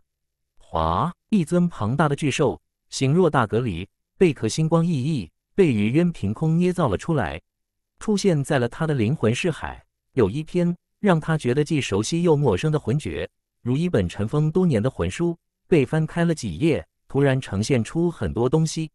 神魔衍生诀。站在斩龙台上的余渊，紧闭的双眼睁开了。轻声呢喃了一句，在他背后，一尊接着一尊虚幻形态的古老神魔、巨妖、巅峰强者的魂影接连浮现出来，气势磅礴，庄重森严。斩龙台悄然不觉间，似化作了一席神座，他坐在神座的上方，在他背后出现的诸天神魔、妖神级别的巨妖、十级的巅峰战士，还有正在形成的心灵圣兽魂影，如侍奉了他千万万年的护从。他为神王。背后皆是追随者。第一千六百三十八章神魔衍生诀。呜呜呜！嗷吼！被明顿坤困在另一片深海的三头九级异兽，仰望着此方天穹，感受着古老神魔的气息，连兽血都在站立，仍旧处于幻境状态。还有一部分兽魂遗落的他们，发出恐惧的低吼。于于渊、九星贤者贝鲁和利奥杰拉特两人，竟瞬间灵魂归位，他们的灵魂。在那头巨兽的心灵之海中，因忧郁和心灵圣兽的战斗而得到了自由。刚回归到躯体，恰巧看到了这一幕。他们看到，在余渊背后，有一尊接着一尊，在浩莽大世界，在漫天星河中赫赫有名的神魔，正矗立在虚空，仿佛只要余渊心念一动，这些惊天动地的神魔就会为他冲锋陷阵。依然落在斩龙台的余渊，此刻给他们的感觉如神魔之王。是那位的神魔衍生诀，从出生起仿佛就得到群星祝福的利奥，以他那座生命祭坛感应，和他翻阅过的族内典籍一对照，马上就明白了。传说中执掌斩龙台的那位神王，每杀死一位至高和大魔神，都能通晓对方灵魂的秘密，将其以魂体重现。利奥轻喝道：“神魔衍生诀。”贝鲁和杰拉特两人也低声重述了这个词语。满脸的惊骇，显然也是听过的。神魔衍生诀在天外星河，在强大的智慧生灵中，似乎流传甚广。忽如水中泡影般，一尊尊威严浩荡的古老魔神，又在于渊的背后消失。而关于神魔衍生诀的诸多精妙施展的方法，剥夺魂体秘密的手段，以魂师演变再现的玄妙，只在于渊的主魂过了一遍。过了一遍，他就洞彻了所有的精妙和所有的晦涩之处，根本不需要再细细领悟。如大阴魂术般，等他找回以后，就变成了他自身的一部分，就是他的力量来源之一。因为他早已悟透，只要掀起盖子，将此魂诀显露出来，他就能全懂。那本就是他的墨色深海，海底的一个角落，这儿有一地石头，暗黄色的、灰褐色的，微微透着绿光的，还有五彩的。每块石头都不大，只是数量繁多。内中都没什么特殊的气血和魂力透出，甚至没一点能量释放。一束赤红幽殿带着由万千银亮小鱼聚拢的明顿坤，在一块果核般大小的石头上方停下。吃赤红幽殿仅停顿了一霎，就射入到其中。原本不起眼的，混杂在万千石块中的这块，顿时如星辰般明耀，有数以万计的微小光点在石块内冒出来。青灵之海的世界中。一道粗阔的赤红闪电毫无预兆地横亘在天，还被困在心灵之海没有离开的魂灵和意识体，看到那一道赤红闪电出现时，生出一种世界将要撕裂崩塌的可怕感。赤红闪电仅存在数秒，心灵之海排斥血气的法则就碾碎了闪电。赤我的血之力，站在渐渐扩大的被幽雨夺舍的灰白领地中的余渊阴神脸上浮现出欣然笑容。一道赤红闪电如撕裂天穹而现，虽然就持续了一下，可他的阴神还是嗅到了他自己的气味。专注于强占此界的幽影也显得有些惊讶，似乎想不到于渊的一道血能居然能落入这个被心灵圣兽缔造的意识海洋。找到了，鱼群聚涌而成的明顿坤围绕着那块不起眼的石头，发出同样的惊喜声。那块被一束赤红幽电射入的石头，随着众多星光的明耀。有一股无可匹敌的能量荡漾开来，其他的所有石块瞬间化作石粉，就在海底飘散。轰隆！海底剧烈地震动，墨色的泥浆翻涌着，一头兽躯充满了这片海域，覆盖了千万里海域的巨兽裂地而出。它并没有缩小，而是在海底下方充满了整个海域，或者说，这片墨色的深海就在它的一片贝壳上，释放着五彩神光的心灵神石。在他裂开海底的大地，将巨兽之身呈现时，心灵神石就消失在了他的贝壳。墨色的深海，下一刻突然沸腾了。来自于外界的混乱星空异能注入到深海的海水，让海水中能够被明顿坤动用的水之能量被冲抵了七七八八。明顿坤先前以众多的银亮小鱼暗中铺展架构的水之法则也被冲溃了。这片墨色深海本该成为明顿坤的水之异域。所有暗藏的水之能量被他动用，可在心灵圣兽现身刹那，局势就变了。游离在星空中，常人感觉不出的杂念、恶念、亡魂残存之力、污浊的精神异能，被心灵圣兽牵扯过来。墨色深海化作了令人精神扭曲的磁场，海之力则被无限削弱。心灵圣兽以他领悟的精神道规，驱逐明顿坤的水之力量，让海域成了他的领域。既然你那么喜欢玩，我就陪你好好玩玩。明顿坤一声低吼，这个星辰上别处海域的海水纷纷飞向了天空，成了千百丈宽阔的江河，注入到这片墨色深海。深海的颜色由墨色被迅速淡化，成了一种墨蓝色。宽阔的江河垂落下来，在海域形成一道道惊天的浪潮。灰神鳄、三足金乌和雷蒙兽被这股冲击波冲得飞上天空。明顿坤似乎是知道。因幽雨和心灵圣兽的灵魂在心灵神石发生战斗，让灰神鳄、三足金乌和雷蒙兽也醒了过来，他就不再压制这三头异兽。于是，飞上天的异兽显得有些乖巧的站在了于渊身旁，而魂体归位、喊出神魔衍生诀的利奥等人也驾驭着星辰祭坛，同样飞逝到了于渊的身旁。他们下方的深海巨浪滔天，大地轰隆隆地震裂，心灵圣兽捏造出来的。一座座星族的宫殿建筑瞬间毁于一旦，两头星空巨兽就在这个星辰，在下面的深海进行厮杀鏖战。于渊还知道，在同一时间，心灵圣兽的兽魂还在对付心灵之海内的幽雨，以免幽雨趁机夺取他缔造的意识世界。我们老贝鲁苦着脸，搓了搓手，道：“暗境晨雾对我们影响不大，我们如今不受幻境的影响，可星空巨兽之间的战斗，我们是插足不了的。你们趁早出去吧。”于渊微笑点头，大贤者利奥不满地喝道：“杰拉特保持着沉默。年轻气盛的利奥，由于三个族人的死亡，因为吃了亏，显得不太甘心。杰拉特却很识相，知道以他们的力量，不但报不了仇，在心灵圣兽和明顿坤分出结果以后，他们没于渊庇护的话，十有八九都要死在这里。对巨兽来说，他们只是羔羊，只是补充血肉能量的食物。”趁乱离开，尽早出灰域，是他们目前最明智的选择。有缘再见吧。贝鲁在这个时候可不管利奥的反对，装作没听见利奥的嚷嚷，只是对于渊说：“如果我们能活着离开灰域，我们一定会去千鸟界，好好对你表示感谢。你要是在浩莽的话，我们会等你来千鸟界。”他对在浩莽的经历记忆犹新，所以早就打定了主意。神魂宗没有称霸浩莽前。他死都不会再去号莽，立即撤离。该说的说完后，他以不容置疑的语气瞪着利奥说道：“你是我们星族的希望，你将来是能超越巴罗的。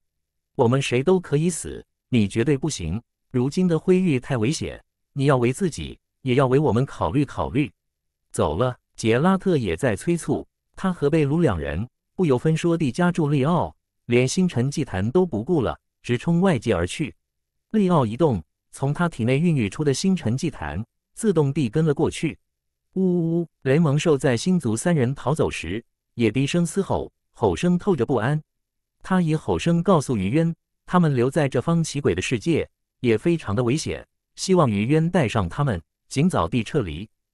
第一千六百三十九章少年太虚。黄沙滚滚的迷雾深处，李会长端坐在一块岩石上方，他整个后背皮肉被撕开。露出金晶神铁般的骨头，弯腰驼背的阴铁花以一根绣花针在他的骨节上刻印着临阵图列，不时皱眉说道：“我神针点相处，你需要散尽所有的精精之力，你要完全配合我。还有我所刻印的临阵图列，至多只能增进你两成的力量。这是一座破败的楼宇，角落里堆积着废铜烂铁，屋顶镶嵌着几颗宝石。别说是两成力量，即使是半成。”都值得我冒险。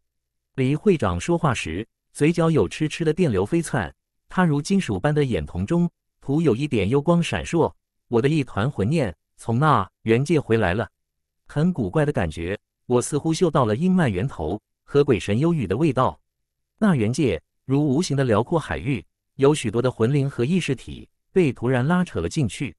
我仿佛还看到有一个五彩的魂影被大贝壳裹着。为了寻找阴铁花，才特意来辉域的黎会长，也是初次涉足此地。他被诱导进入心灵之海的一团魂念，在幽雨和心灵善兽战斗时，因他足够的强大，所以成功趁乱回归。他一回归，就记得了在心灵之海的经历，于是向阴铁花描绘。那不是原界，在灰域生活了很多年的阴铁花，满是褶子的面庞上露出惊讶之色。那个地方。是被一头叫做心灵圣兽的星空巨兽所创造，应该是叫心灵之海。很久以前，我因为好奇也被扯入过，当时它还不够强，让我从那个心灵之海成功挣脱了。我后来特意查证，找一些厉害的家伙问了，才知道那是他以巨兽精魄为自己打造的第二个脑域。这个脑域也被他叫做心灵神石，为一方意识和灵魂的海洋。它能通过心灵神识。在动用天赋能力时，诱导附近的生灵去探查，探查的是灵魂，灵魂就会沉落；如果是魂念和意识体的话，也会呈现在里面出不来。解释了一番，阴铁花倒是很吃惊：“你能够出来已经很厉害了。近些年来，我所知道的深陷那片奇异海的，没一个能走脱的，因为他是和忧郁在战斗。”李会长道：“幽雨，浩莽心境的鬼神。”在远古时期，他曾是鬼巫宗的首领，也是太阴神王的挚友。他获得了新生，依托阴脉源头，再次冲上了至高。李会长道出忧郁的来头：我太久太久没回号莽，没接触号莽的强者了。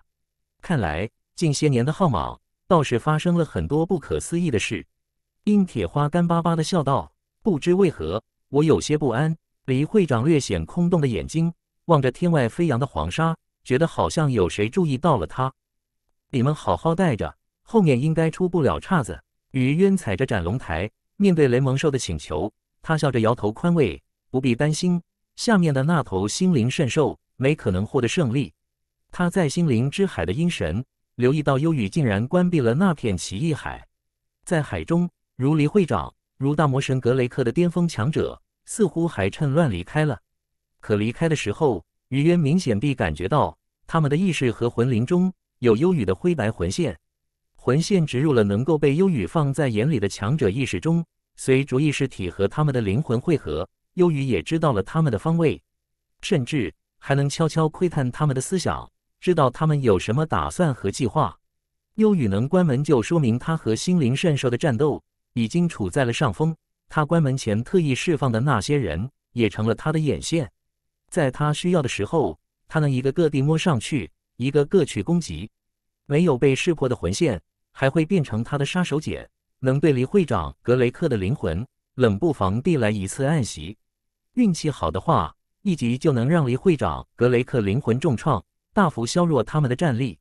你想以地心之炎淬炼躯体，还想图谋元魂？于渊脸上渐渐阴沉，原先对黎会长还有一些愧疚的他，通过幽雨听到了黎会长和殷铁花的对话，于是心中有了决定。等幽雨外界的屈身带着玄离过来，解决了心灵圣兽后，就在灰域灭杀黎会长。确实要以绝后患。大人，忽然间，太虚神王的声音从他脚下的斩龙台传来。躺了很久很久的太虚，在斩龙台内缓缓坐起。安德烈的容貌和体型因他的苏醒进行着细微地调整和改变。没多久，血魔族的安德烈就以精妙的血之掌控变成了另外一个人，一个瘦瘦高高、面容清秀、显得有些腼腆的人族少年。呼，这个人族少年由斩龙台飞出，落在了于渊的前方，手骨如竹般修长的两手抵在胸腔的方位，冲着于渊深深鞠躬。他以满含感激的眼神望着于渊，似乎有千言万语要说，想宣泄一番汹涌的情感。太虚，于渊心头一震，这个少年模样的太虚，在他的记忆中竟无比的深刻。他顿时看到了许多幕模糊画面，在那些画面中，他的背后一直站着这个少年，略显腼腆的少年，永远都是坚定不移地支持他，无论他是对还是错。于渊的灵魂深处都泛起了激动波澜。知道数万年前的同伴当真重现天地了。我在后来变得苍老了一些，当然是没现在这么年轻。太虚显得有些不好意思。可现在我既然可以随意地重铸躯身，以任何年龄阶段的样貌显现，那我就选年轻一点吧。当年我刚进入神魂宗，刚刚见到斩龙台时，就是我现在的样子。他口中的斩龙台，自然就是第一世时的余渊。嗷呜！灰神鳄、雷蒙兽和三足金乌突然围着他低笑，也兴奋地捶胸顿足。三头异兽都认得他，知道他当初以灵魂形态来灰域时，就是此刻的少年模样。不同的是，眼前的少年已是血肉之身，是和他们一样活着的生命。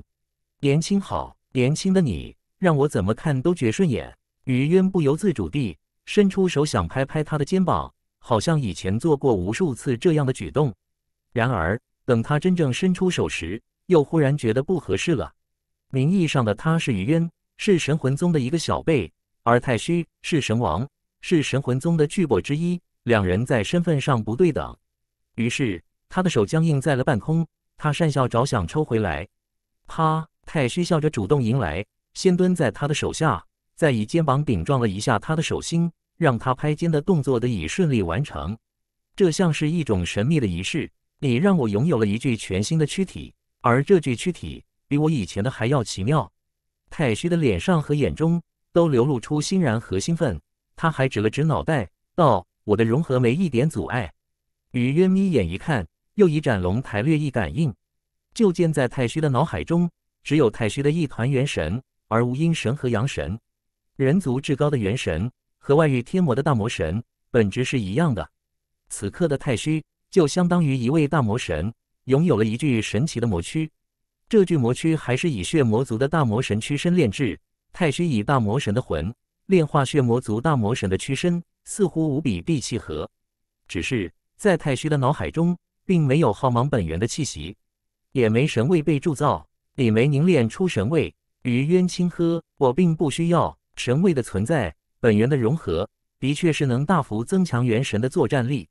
但我现在感觉也很不错，即使没神位的加持，我这具因你而缔造的躯体也可以给我带来巨大的战力和潜力。”第一千六百四十章天把火。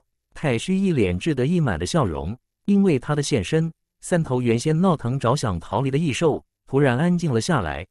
他们对太虚很信赖，似乎只要有太虚在，他们就愿意一直带着。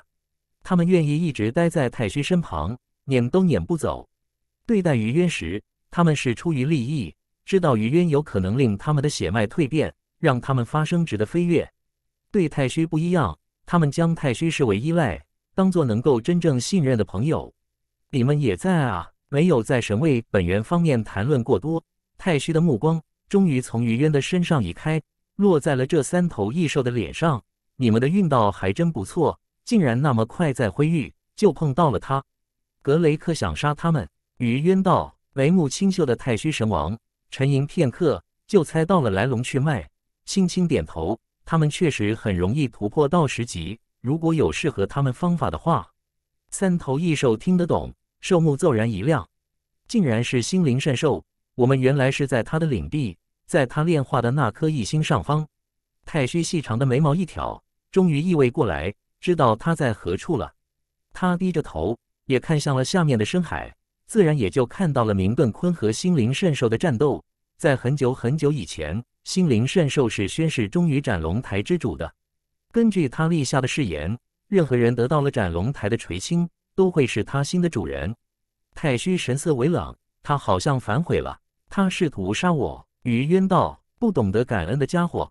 少年形态的太虚听到这句话时，眼中有浓烈的杀机迸射。他本来应该死的，本来也无法成年。没那位的帮助，他缔造不出心灵之海，也炼不出那块神石。太虚明显了解过往内幕，他话里的意思。是于渊在第一世的时候帮助心灵圣兽进行了蜕变，让这头巨兽度过了危险期，还弄出了心灵神石。心灵之海的缔造也是于渊在太阴的时代助了他一臂之力。根据古老的协定，心灵圣兽也立下了誓言：不论以后的时代如何变迁，不论太阴神王还在不在人世，只要有他的传承者手持斩龙台出现，这头心灵圣兽就必须侍奉为主。必须要誓死追随，心灵圣兽违背了自己的诺言。我再添一把火。丢下这句话以后，星宿的太虚凭空消失。他消失在于渊和三头异兽的眼前，消失在灵魂的感知中，仿佛当真无迹可寻。可于渊却能通过阳神，清清楚楚他感觉到太虚的痕迹，还知道太虚一瞬间后就出现到下方的墨蓝色深海。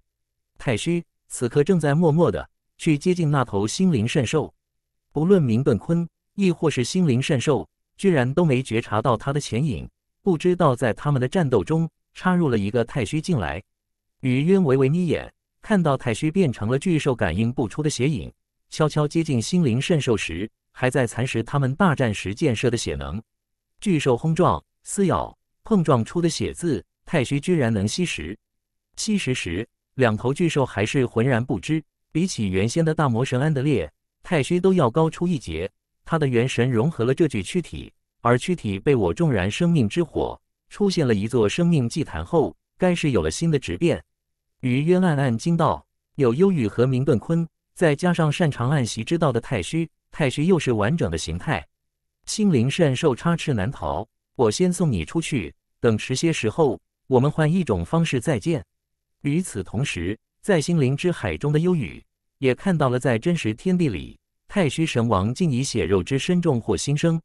他听到了于渊和太虚的对话，知道很久以前的心灵圣兽是听命于他固有的。到了这阶段，于渊的阴神继续逗留下去，其实没什么必要了。幽雨对此界的掌控力变得越来越大。关门后，他。送别人离开可能会麻烦。曾经是缔造者之一的余渊，因神要脱离心灵海，有他帮助，能无视门的封闭。华余渊的阴神，先是在斩龙台的世界出现，又突然回归本体，让人头痛欲裂的尖笑，渐渐从这个真实天地的每个区域传来。余渊懒得感应，懒得去看，就知道心灵圣兽连番被重创，兽魂还有巨兽之身都在遭受着沉重打击。在他阴神离开以后，又与在没有后顾之忧，根本不在意弱小的被心灵圣兽欲动的魂灵和意识体的死活。心灵之海中，之前沉落在里面没有能离开的魂灵意念，被条条溪流卷住吞没。灰白色的神秘领域不断地扩大，反客为主。咔嚓，一道绚丽的血光传出，太虚的气息，在下方墨蓝色的深海耀出，如割裂了坚硬的盾壳。将心灵圣兽斩为两截，心灵圣兽的哀呼声更响亮了。雨渊周遭的虚空出现了几十个他柔弱的魂影，两片贝壳断裂，楚楚可怜的他哀求着雨渊高抬贵手，述说着他和太阴当年的过往，他曾经的乖巧懂事。他又在慌乱之下立誓，想要博取雨渊的同情，想逃过这一场劫难。雨渊这次无动于衷，当墨蓝色的深海墨色渐渐褪尽。变成淡淡的梦幻蓝色，汹涌而动的大海就成了明顿坤的领域。明顿坤到了断裂的贝壳中央，找到了代表心灵圣手屈身的嫩滑贝肉。心灵神石与渊和太虚的声音同时响起，提醒明顿坤下杀手归下杀手，别弄坏了那块石头。放心吧，千千万万的银亮鱼群从庞大到冲色海域的明顿坤体内飞出，游向那大隔离的贝壳内，啃食它的血肉。一道接着一道，心灵圣兽的柔弱魂影在余渊旁边变淡，他依然在张口尖叫，在哀求，只是没有声音能传出来。幽雨、明顿坤再加上太虚神王三位诸天星河顶级的存在，联手要格杀他，他的确是逃脱不掉。余渊收回目光，不再费神感应，知道心灵圣兽咎由自取，怨不得别人。少年形态的太虚神王由淡蓝色的深海飞出。似乎看到了星族族人的离开，疑惑道：“利奥还有贝鲁他们急匆匆撤离干嘛？怕心灵善兽，更怕明顿坤。”于渊笑着说：“害怕明顿坤，倒也是应该的。星族的老辈们多次联合围剿过明顿坤，不同生命间的战斗向来是如此残酷。太虚活了那么久，什么都看透了，对恩怨情仇和生死离别都不是特别在乎。”五幽雨。似乎在朝着我们的位置赶来，他来作甚？李会长找到了阴铁花，让阴铁花帮忙化身为器物，想去经受地心之炎的焚烧。然后他是想进入地心之炎包裹的地界，他这是找死！太虚眸光阴朗，今闻黎会长想图谋元魂，对黎会长再没一丝好感。我们承诺的神位，并不是不去兑现，不过是让他多点耐心而已。他几千年都等了，就在乎这么点时间。还有，我已经给他开辟了一条新路，那条路因为你的存在，也有了永生的可能。他想要的太多了，他知道最卓越的魂之力量能够轰杀龙劫，这个人留不得，即使得罪了商会，也要尽快除掉。